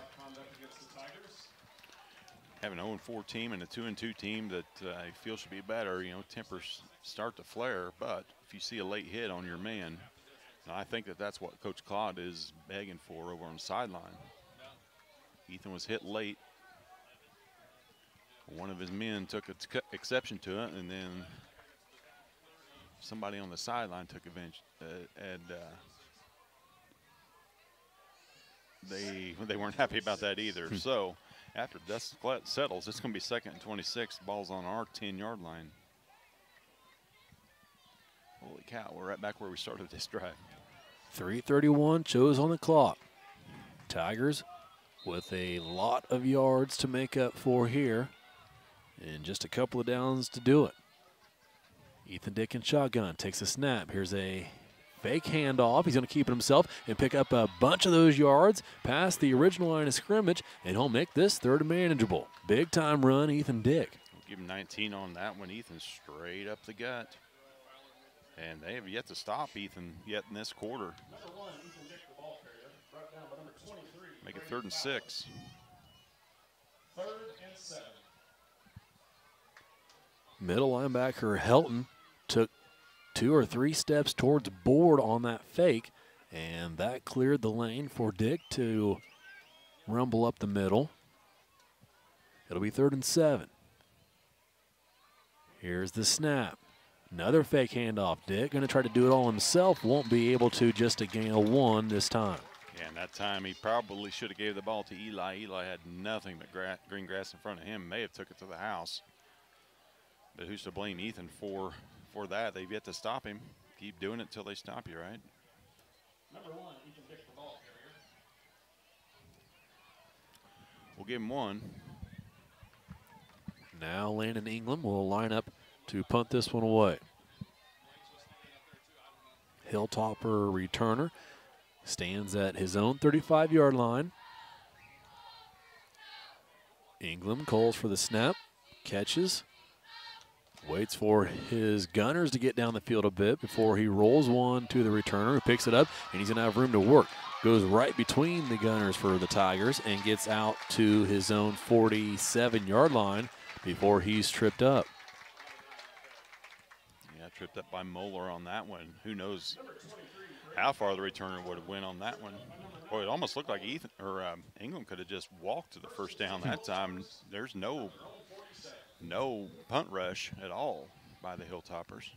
Maybe something to keep in mind a little bit later on. Braden Fowler gives his offense good field position. So they'll start first and 10 at their 47. 154 remaining third quarter. Duff, a word to his running back behind him, takes a snap, pitches to the right side. Looking for the edge, now cuts it back is Helton and goes back towards the outside and picks up three on the play. It'll be second down from just across midfield. Jeb Fry on the stop for the Tigers. Once again, Tigers staying at home on that pitch and that misdirection play. As long Looks as they continue to do that, Hilltop's going to have to do something special to score on us. Looks like only the nose of the football across midfield. Duff is under center again. Sends his tight end to the left side of the line and takes a snap. Takes a handoff, then gives it we go. away and brought down behind the line. And Colmeyer, Colmeyer on the stop. stop, yeah. Stewart, the ball carrier. He's going to lose everything plus what Heskey, or Helton gained on that last one. Loss of five on that one. Third and 12 for Hillsboro. Interesting play call on the way for the Toppers. Right around midfield, they've got 12 to pick up the first down. Boy, their defense is playing. They might be in two down territory here. Duff will send a man in motion. That's Stewart. Runs to the left side. Here a handoff. Shaking a tackle and picking up a couple of yards is Helton. Give him four or five on the play. Yeah, Winans with the initial hit on that. Slowed him up just enough for the rest of the Tigers to come in. Bring up fourth down and eight. Punting situation, but it's going to take place in the fourth quarter. Five, Clock will wind down, showing five right now, and that will be it for the third quarter. We'll take a break and be back here with the final 12 minutes, 0 0. You're watching the Paris Sports Network.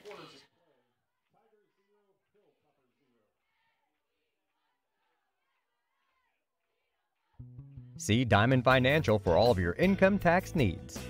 Ben Lucan has 30 years of income tax preparation experience. He and his well trained staff can take care of all of your personal, corporate, partnership, trust, and not for profit tax returns. They'll also take care of all of your payroll and bookkeeping needs as well. See them at 208 East Jasper Street or call 465 8562.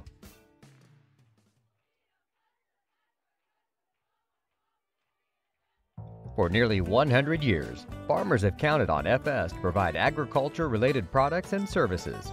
Call 465 1560 for fuels, lubricants, or propane for home and farm use.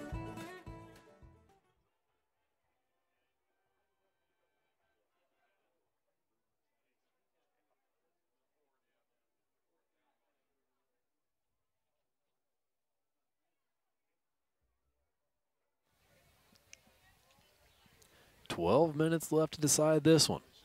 That's if anybody can score, right, Jeff? That's right. 0 0 Tigers and the toppers of Hillsboro. Hillsboro is set to give the ball back to Paris, fourth and eight. Yeah, Magnus Wells back to punt for them. Tigers retreat. Snap is good. Punt is away. High punt, not much yardage on it. It will stay in bounds and A good roll for Hillsboro, but it hopped out of bounds halfway into that roll. And the Tigers will take over there from right at about their 30 yard line. There you go. 70 yards to go, wind at our back. See uh, how we attack this one. This is our fourth or third possession of this half. Move the ball well on the first one. Backed up by penalties. A couple of unsportsmanlike backed us up. We were forced to punt it away at the end of the third quarter. So see how we attack this one.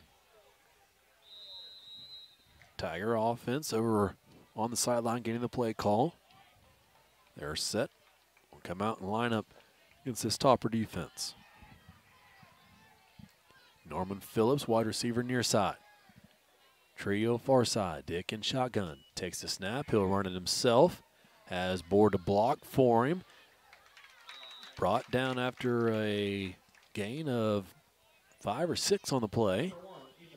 A good edge block there that time by Landon Ingram to give Dick plenty of room to run. Ethan picks up five more to add to his second half total.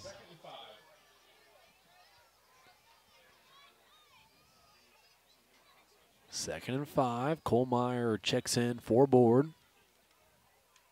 50 yards thus far this half for Dick on six carries. Dick and Colmeyer in the backfield. Lee, Moeller, Pinkston far to the right. Dick will run it himself. Stiff arm, flag comes in, and Dick picks up the first down. Yeah, Landon got caught grabbing the lineman that time. Was good blocks he set last time. He got caught for holding that one. Many penalties as we've seen called on the Tigers tonight. That probably speaks to what kind of defensive line they're going up against, right, Jeff? Yeah, absolutely.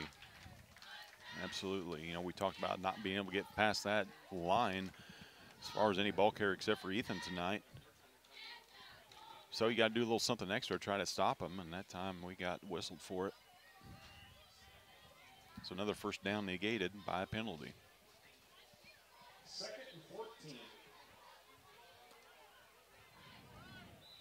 Second and 14 now for the Tigers.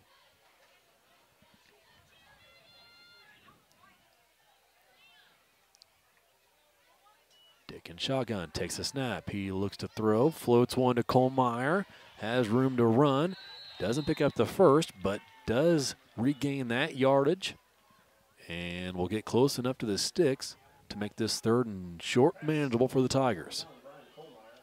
Yeah, we'll give him a gain of about nine on that one.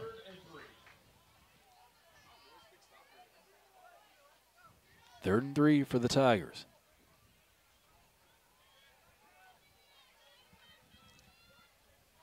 Dick and shotgun takes a snap, Takes a handoff to Colmeyer, will run himself, and closing in quickly is the topper defense making the stop behind the line. Yeah, they're getting wise to that now. They know that uh, Ethan all night is on that read option has been keeping it. So they're just keying on number one for us. And now they're just swarming the football. So loss of about three on that one.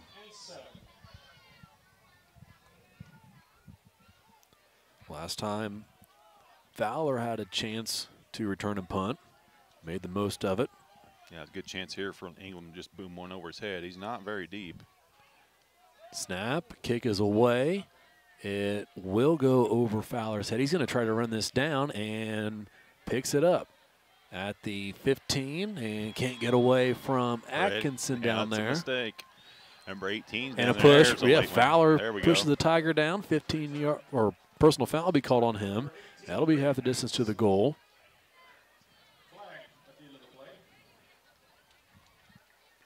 Boy, you've got to be careful with your Tigers now. The the stripes are just looking for you to do something because they've known you've done it enough here.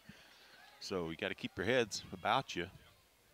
Don't give them any kind of break. After a great punt by England, a good pursuit there by Atkinson. Yeah, what you described, Jeff, is kind of a bad decision to pick it up to begin with. Leads to an even worse mistake by picking up the personal foul. Fourth of the game between the two teams. Tigers leading that category three to one, but this might be the biggest one as we got them backed up to their five yard line. Topper offensive huddle stands in their own end zone.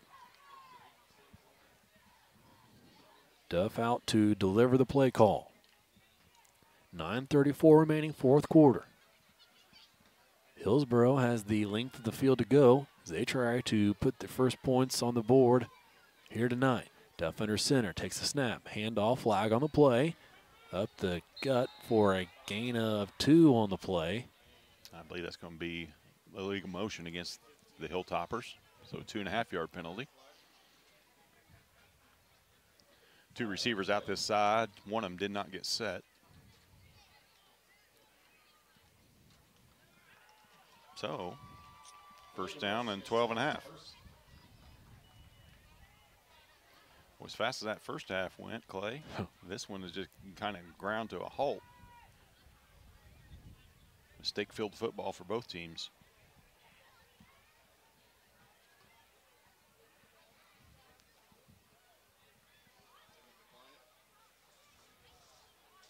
Officials get this sorted out as we declined it. So yeah, like Coach Claude Felder has declined the penalty to bring up second and eight for Hillsboro. Yeah, gain of two on that. So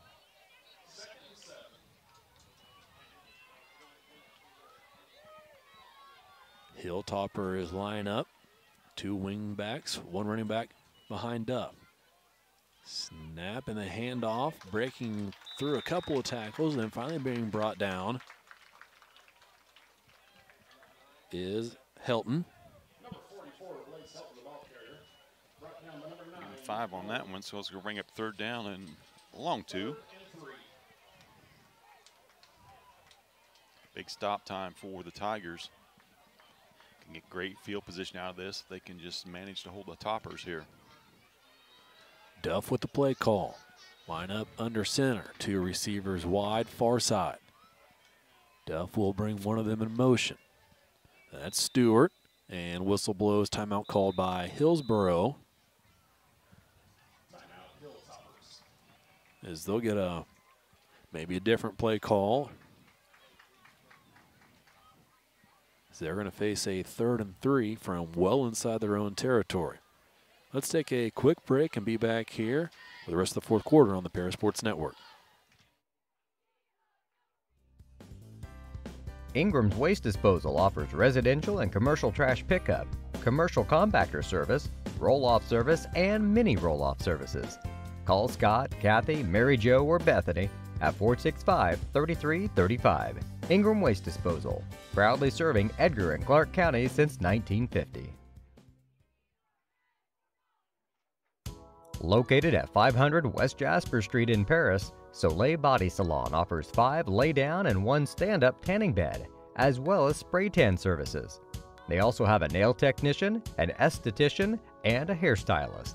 Give Leslie and her staff a call at 465 7546.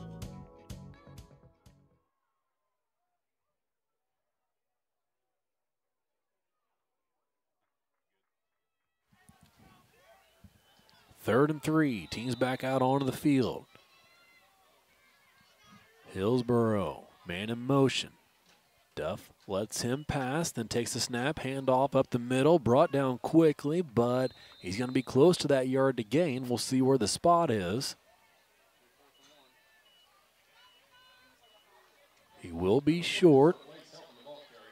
Boy, good late shift that time on the line by Gabe Winan. Shifted to his right. Felt the ball was going to the left side. Fourth and one foot. Duff has a play call from the sideline. He's back in the huddle. Toppers break the huddle and line up ready to go for this. Stop here, just careful not to jump. Duff under center. Takes the snap. I think he faked the handoff, gonna try to pick it up himself. Boy, it's gonna be close. Yeah, original spot looks like they're right at the yard to gain, and they will move the chains. First down, Hillsboro. Great push here initially by the Tigers, but second effort by Duff. It's just enough. And a gutsy call there by the coaching staff to go for it. Tigers, Tigers, all they have to do is kick a field goal from there to win this one. Ball now rest at the 15 yard line of Hillsboro. They have a new set of downs. It's first and 10 with 7.40 left in this one. Topper offense will get set. Duff takes a snap. Handoff, trying to come around the edge. Brought down is Kaiser before he gets back to the line of scrimmage. Colmeyer once again on the stop, brought down for a loss. Number 43, Joe Kaiser, ball carrier. Brought down by number 41, Brian Colmeyer. Lost the two on the play, second and 12. Kaiser checks out. So even though they got the first down, Clay, still a great opportunity to, to stop them here and get good field position and take that final drive of the game. Second and 12. Jay Stewart has checked in as a receiver for Hillsboro. He goes in motion to the left. Toppers running the ball. That's Duff. Breaks a ankle tackle, then gets back to the line of scrimmage where it'll be third and long for Hillsboro. Had him strung out there for about a five-yard loss. He struggles his way and gains three on that one. Bring up third down and long once again. Gain of three on the play, third and nine.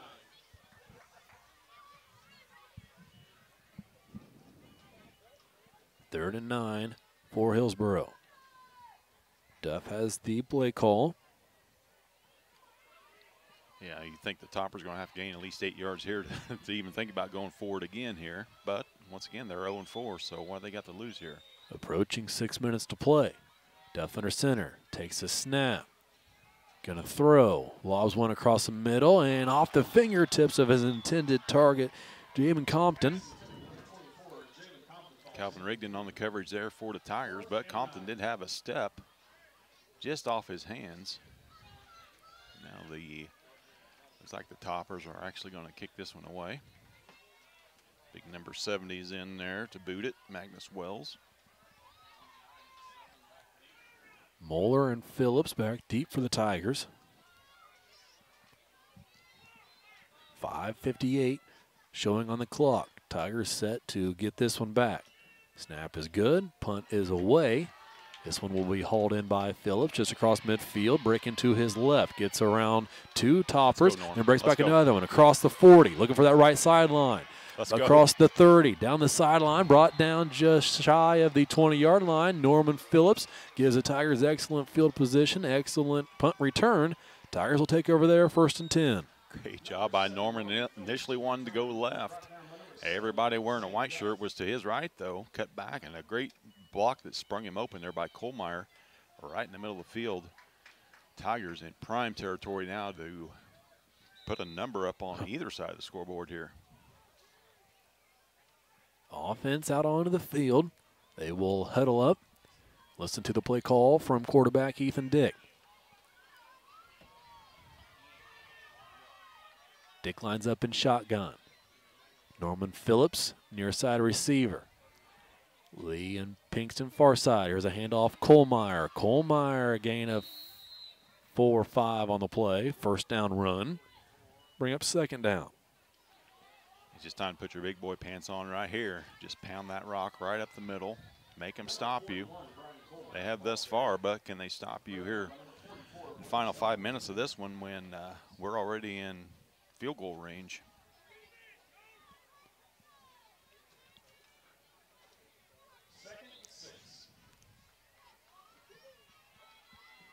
Phillips again lines up wide receiver near side. Dick and shotgun. Colmeyer to his left. Curly up back. Here's a snap to Dick. He'll run it himself. Looking for the left edge. And gets taken down at the 15 by Compton of Hillsboro. It'll be third and short. Ethan's going to sleep good tonight. That is for sure. He's basically carried us the second half. 14 carries on the night for Ethan. Dick over towards the sideline to get the play call from Coach Claude Felder. Now he heads back to the huddle. Yeah, no hurry if you're the Tigers right here. Eat up as much of that clock as you can. 10 seconds on the play clock. Tigers up to the line. They are set with five on the play clock. Snap to Dick. Fakes a handoff to Colmeyer. Try to run it himself, but he will not be able to get around the edge. That was Wells who had his hands on him first. Cleaned up by the second line of the defense. It'll be fourth down for Paris. Once again, that edge is just not there for us. We've tried it all night long and just cannot get outside that left or right tackle. It's two down territory for the Tigers. Probably just looking for at least one or two there. Make this a much easier fourth down conversion. However, it's going to be fourth and three. Three receivers near side. Yeah, big spot here. We might let it run down, call timeout, decide whether we want to attempt a field goal here. One second on the play clock, and there is the timeout called by the Tigers. That's our last. 3.30 remaining, fourth quarter. Fourth and three. Boy, big spot here. You know, Tigers aren't used to having a field goal decide things here, but you know, here in the, in, in the recent past, we have had it. Uh, Ethan Graham kicked a big one down at Olney for us in the rain to basically win the conference. Was that two years ago, I believe, maybe three? But uh, you know, to have a good field goal kicker, and we do in Landon Ingram here. You know, if he was to try one from here, what are we looking at? 32 yards, something like that. Yep. Definitely well within his range. Ball is pretty well centered up between the hashes as well. Just to the right, maybe a center.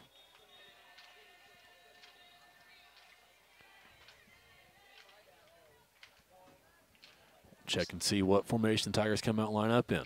Yeah, it looks like for all intents and purposes, we're going to line up to go for it right here. Ingram is out there, but he's also one of your linemen, so. And we are going to go for it.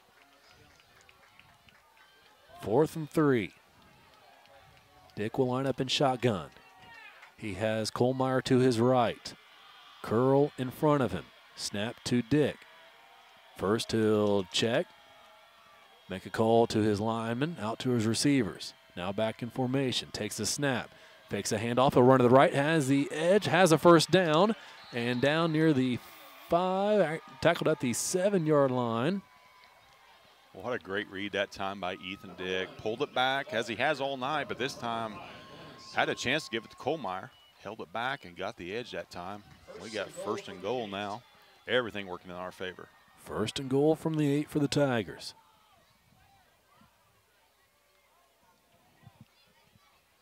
Approaching three minutes to play. Tigers probably won't snap until we're under three to play. 12 on the play clock. Ethan Dick in shotgun. Takes a snap right at three minutes. Handoff Board, cuts it back up the middle, runs through a hilltopper defender. Down near the goal line, stopped at the two, where it'll be second and goal. Great play that time. Eat up uh, seven yards on that one for Board. Now we can run that play clock down just as far as we want. Make the Hilltoppers use their last time out. They can only stop at one time.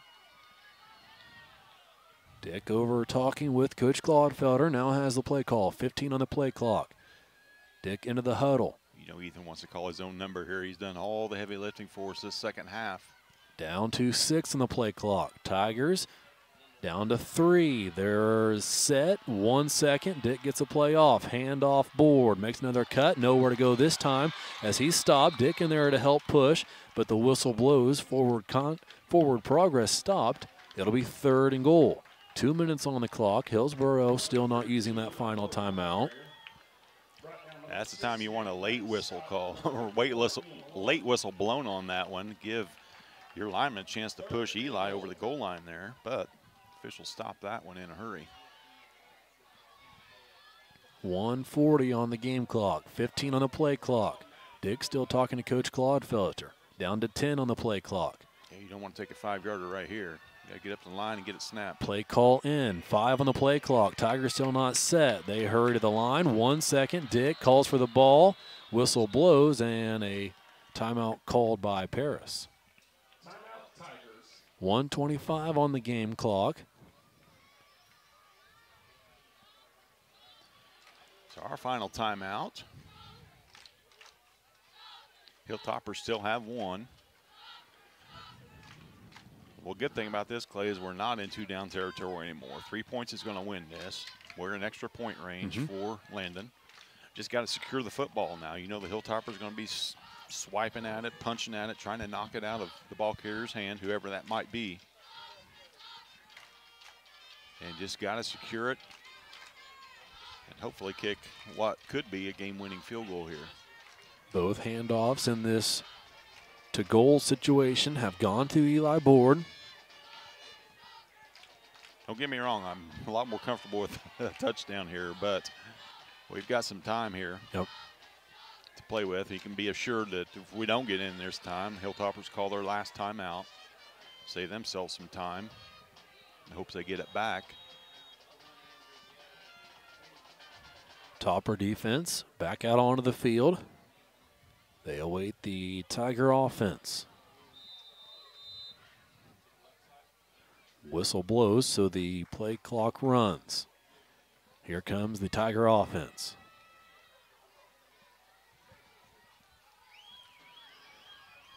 Phillips, receiver wide left. Lee and Pinkston to the right. Whistle blows. And we will reset the play clock. Official did start it, but now he wants it reset. Hmm. All right, with the Tigers, as it was down to three on the play clock. Dick in shotgun, running back to his right, takes a snap, hand off. That's Board looking for the goal line. He will waiting for the signal. Nothing yet, It's got to and be. Board's already up, and they're going to call him just short. Holy cow. Meanwhile, the clock's still running. Clock still runs. It'll be fourth and one with one minute remaining. Hillsboro still electing not to take a timeout.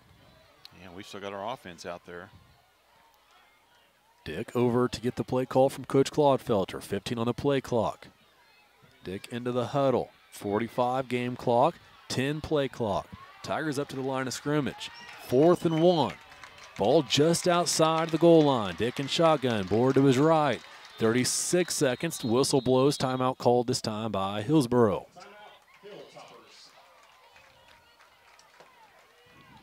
Well,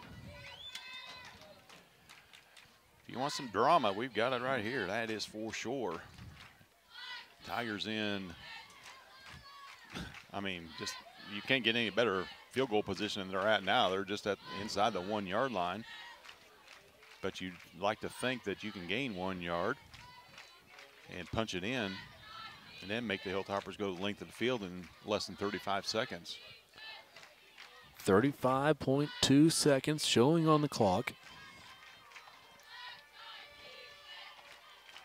Tiger offense huddling and talking about this play call. They stand at the 20 yard line of Hillsboro. Defense back out on the field. He is sending the field goal unit in, it looks like.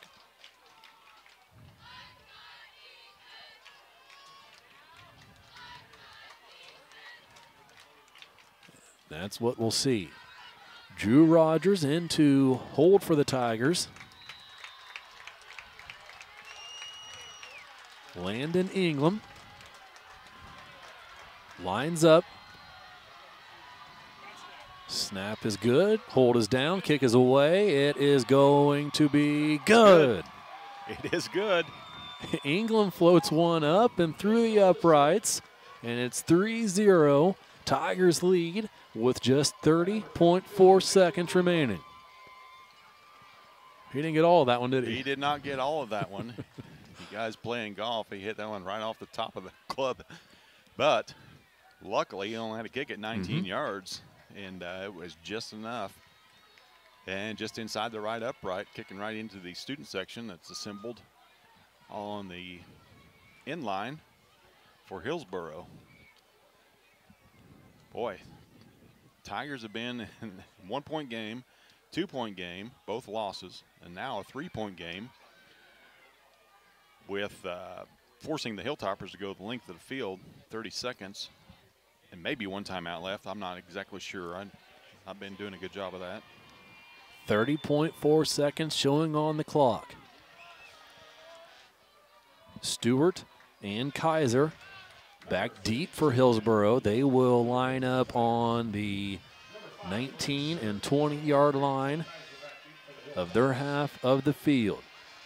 Landon Ingram set to kick this one away. Yeah, plenty of leg to get it over both of those guys as they're on their 20. Just stay in your lanes, boys. Don't let anybody behind you. Ingram runs up and kicks this one short on the ground, fielded there, and they're going to try to return it over towards their sideline. Brought down is Compton. Christian Miller on the stop there for the Tigers. And Hillsboro will have 54 yards to go in 26.4 seconds. Yeah, and they've yet to complete a pass tonight. I've only attempted two. They're going to have to uh, complete a bunch of them here. The Tigers are going to be in prevent defense.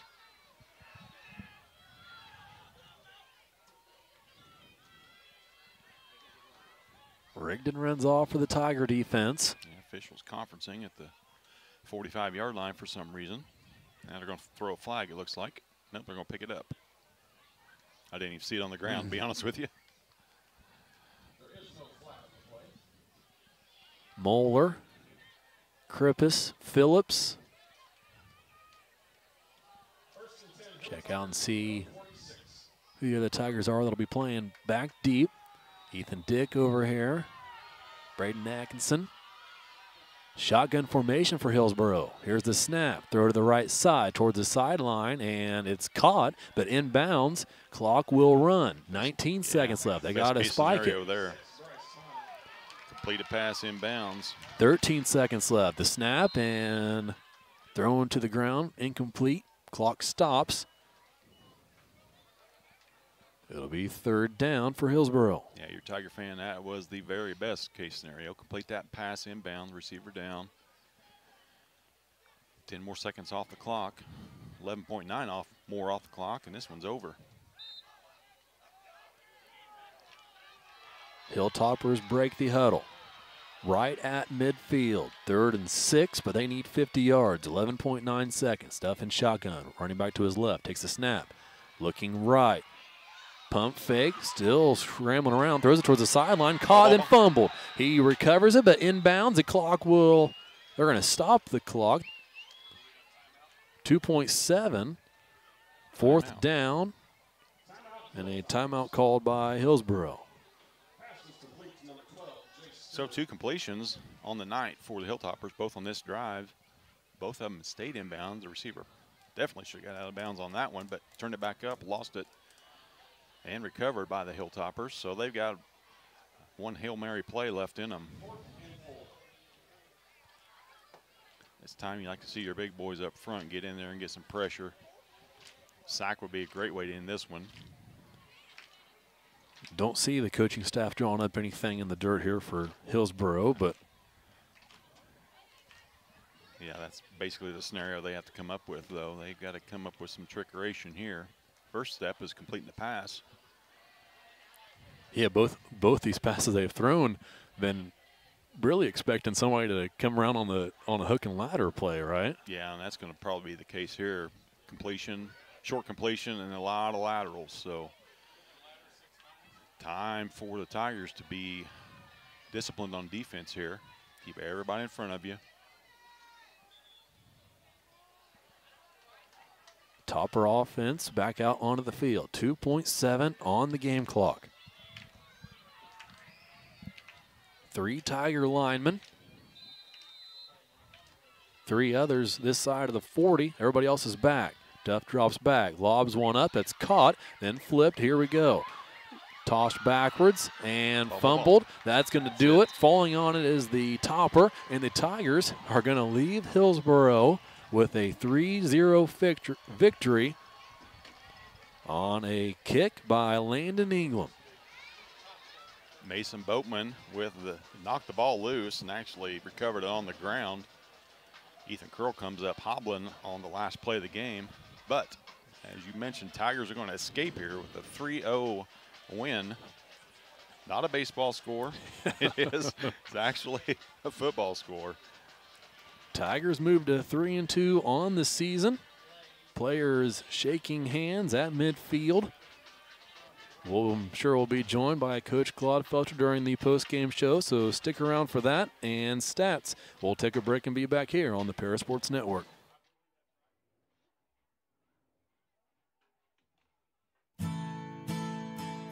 Our affiliate sponsors would like to wish the Tigers the best of luck. Moody Farms, Tom and Marnita Stuck, Jim and Kay Taylor, Darren and Erica Colmeyer, Paul and Kathy Porter, and the Mary Lou Pine family.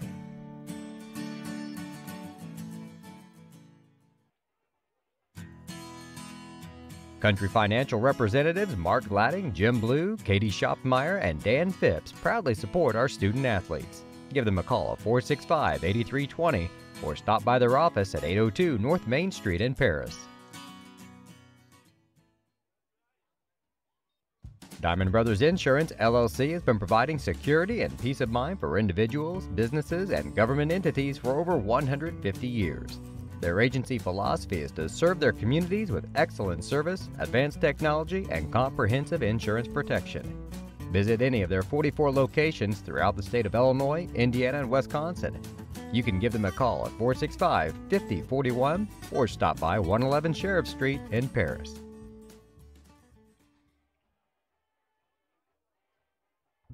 See Diamond Financial for all of your income tax needs. Ben Lucan has 30 years of income tax preparation experience. He and his well trained staff can take care of all of your personal, corporate, partnership, trust, and not for profit tax returns. They'll also take care of all of your payroll and bookkeeping needs as well. See them at 208 East Jasper Street or call 465 8562. For nearly 100 years, farmers have counted on FS to provide agriculture related products and services. Call 465 1560 for fuels, lubricants, or propane for home and farm use.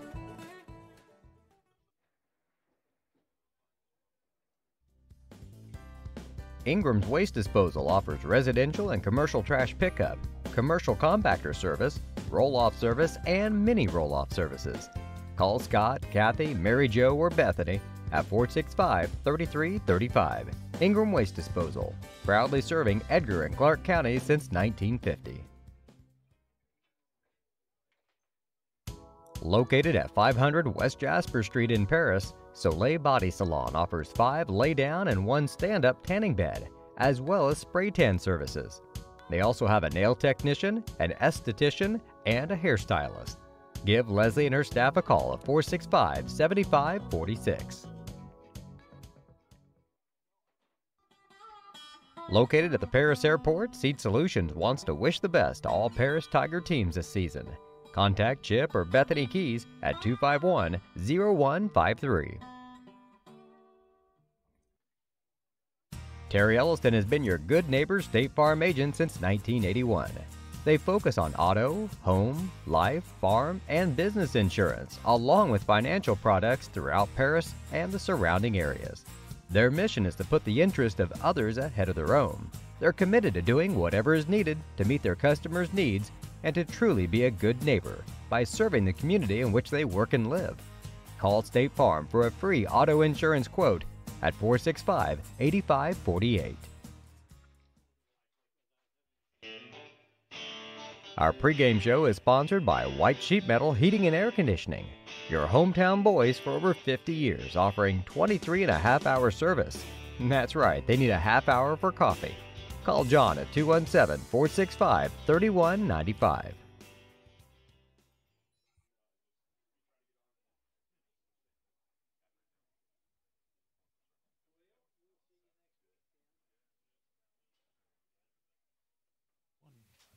Welcome to the postgame show, Paris Sports Network. Your Tigers victorious 3 0 over Hillsboro tonight. I'll turn it over to my partner, Jeff Chambers, for stats from today's contest. Thank you, Clay. For the Hilltoppers, quarterback Duff completed three out of six.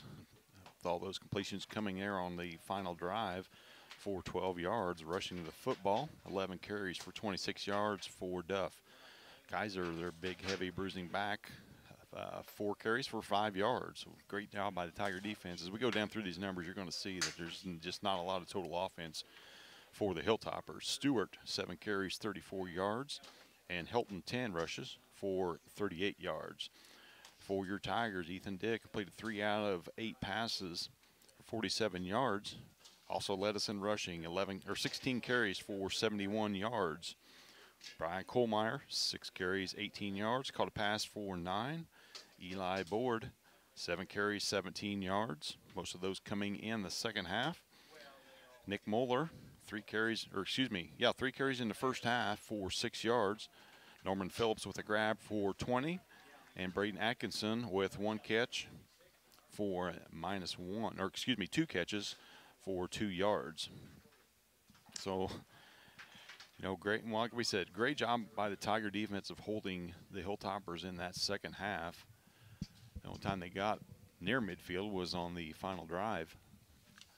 Uh, and that was after following a pooch kickoff when the, the uh, Hilltoppers had just 30 seconds left in which to go the length of the field. So, boy, you talk about slobber knockers. This was one of them, Clay. I mean, just good defense by both teams. Tigers just had a little bit more, and it was really a field position battle in that second half. The Tigers did, a, you know, took advantage of their field position, and a great can't can't go to sleep on the punt return by Braden Atkinson, which set everything up there uh, late in that fourth quarter uh, to get us inside of the of the red zone uh, with just three and a half minutes, and we were able to chew off the, the last three minutes of that and leave no time on the clock for the toppers as we move to three and two on the season.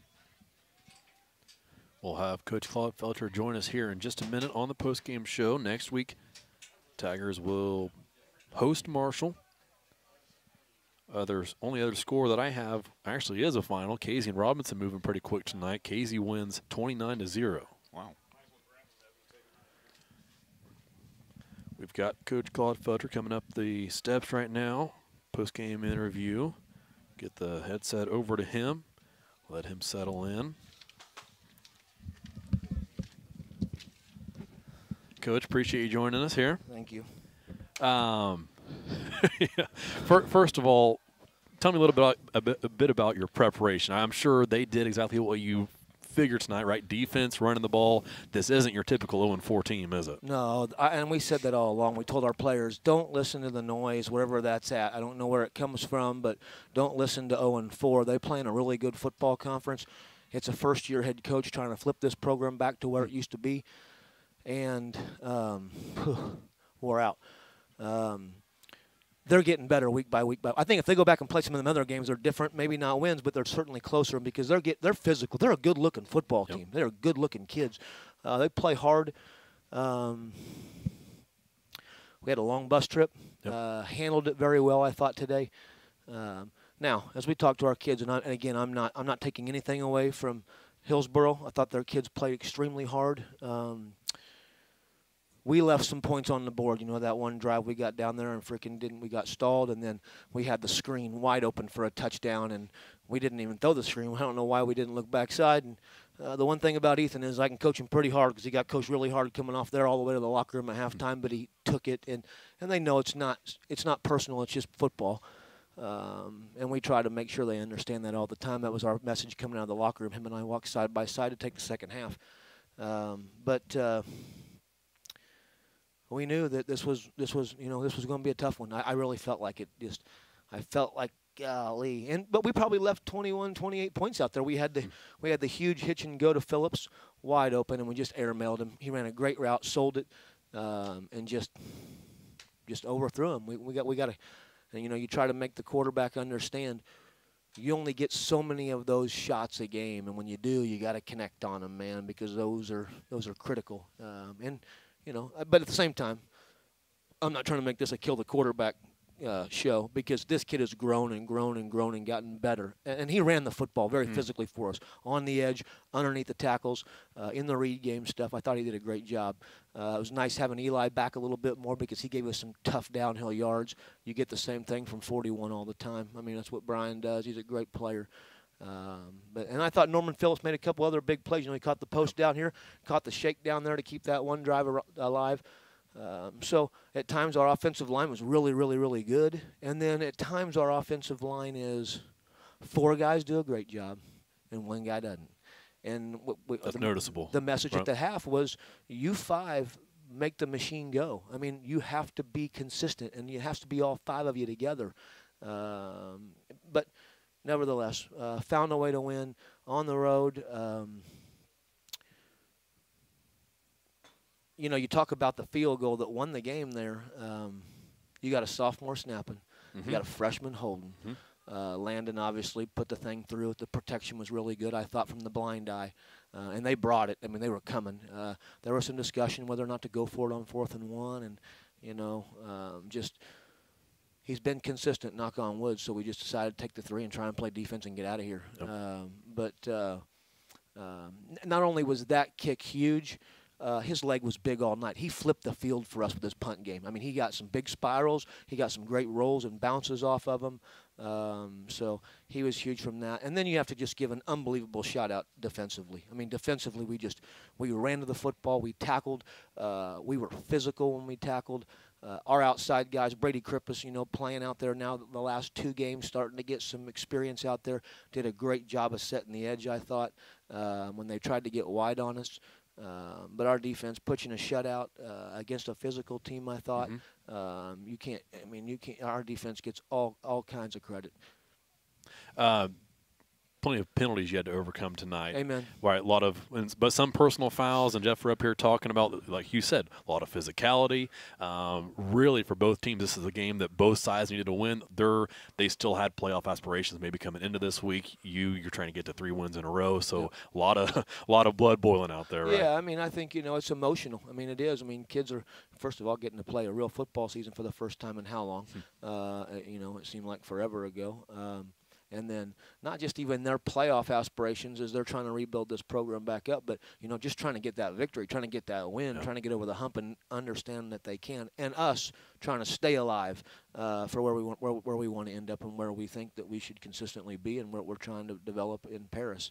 Um, and I'll say this: uh, the penalties. Uh, I mean, we, we had a huge run, and we have a hold out here. We have a huge play, and I mean, it, it's like they're they're just th- th- they're crazy penalties that you just go. We we have to at some point in time now, as we're through five football games, we got to get rid of those. Man, we got to quit those things. We can't have explosion plays for 18, 22, 25 yard gains and have them negated because we're holding out on the perimeter away from the play that doesn't even matter. Um, and then I'll apologize to Paris. Um, it doesn't happen uh, very often. I think three times in my career now, uh, I got a personal foul, and I was pretty animated. I can I can tell you without uh, without a shadow of a doubt, I never used a swear word.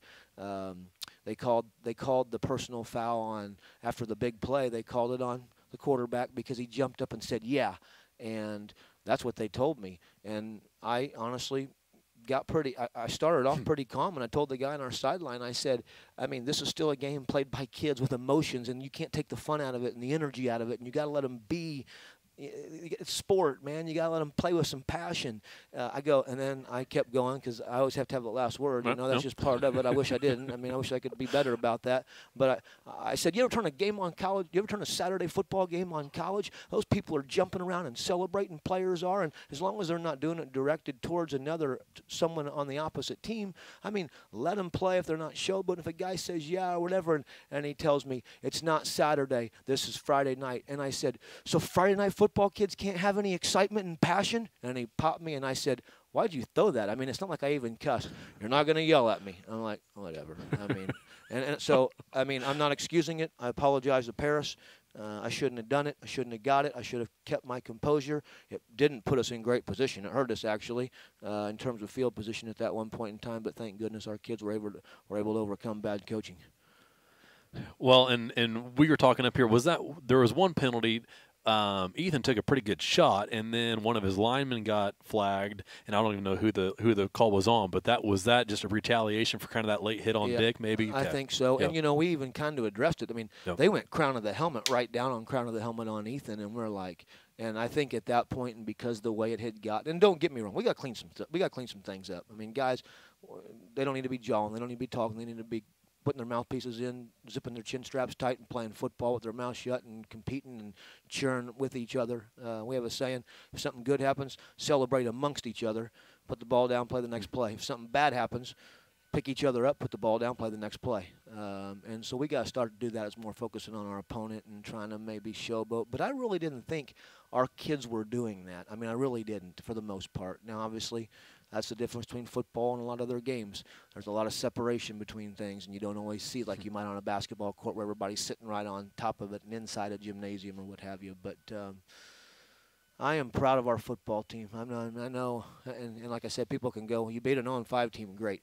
I mean, this reminded me a lot of that Macomb team a couple of years ago. They were big, strapping, physical, good-looking specimen type kids, going through a tough time, um, trying to rebuild their program, and it took everything we had to get out of there on a 24-hour football game or whatever it was that night, overnight in the rain and all that. Uh, this reminded me of, of that trip, and um, to come away and be uh, now back above 500 uh, with – you know, one of our favorite games, team down south coming to town next week on Friday, October 1st. We'll, we'll have plenty to get ready for. Well, plenty. We'll have plenty of juice to go to practice with. That's right, Coach. Well, hey, let's get out of here. Let's get home before midnight tonight. Amen. I love it. Go Tigers. Thank you. See Thanks, Coach.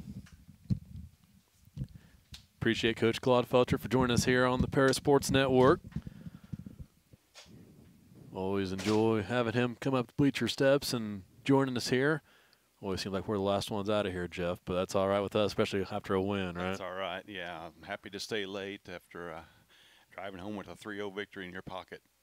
That's right. Well, let's go ahead and get on out of here. Again, appreciate everybody for joining us on the Paris Sports Network. Thank you to all of our sponsors that allow us to do that. And uh, if you're out there listening and want to be a part of it, always remember that we can get you added a few spots here on the Paris Sports Network. So appreciate you joining us. Hope you have a good night. Signing off for Jeff Chambers, I am Clay Bess. Thank you for listening, and we'll be talking to you at Tiger events next week. Have a good weekend.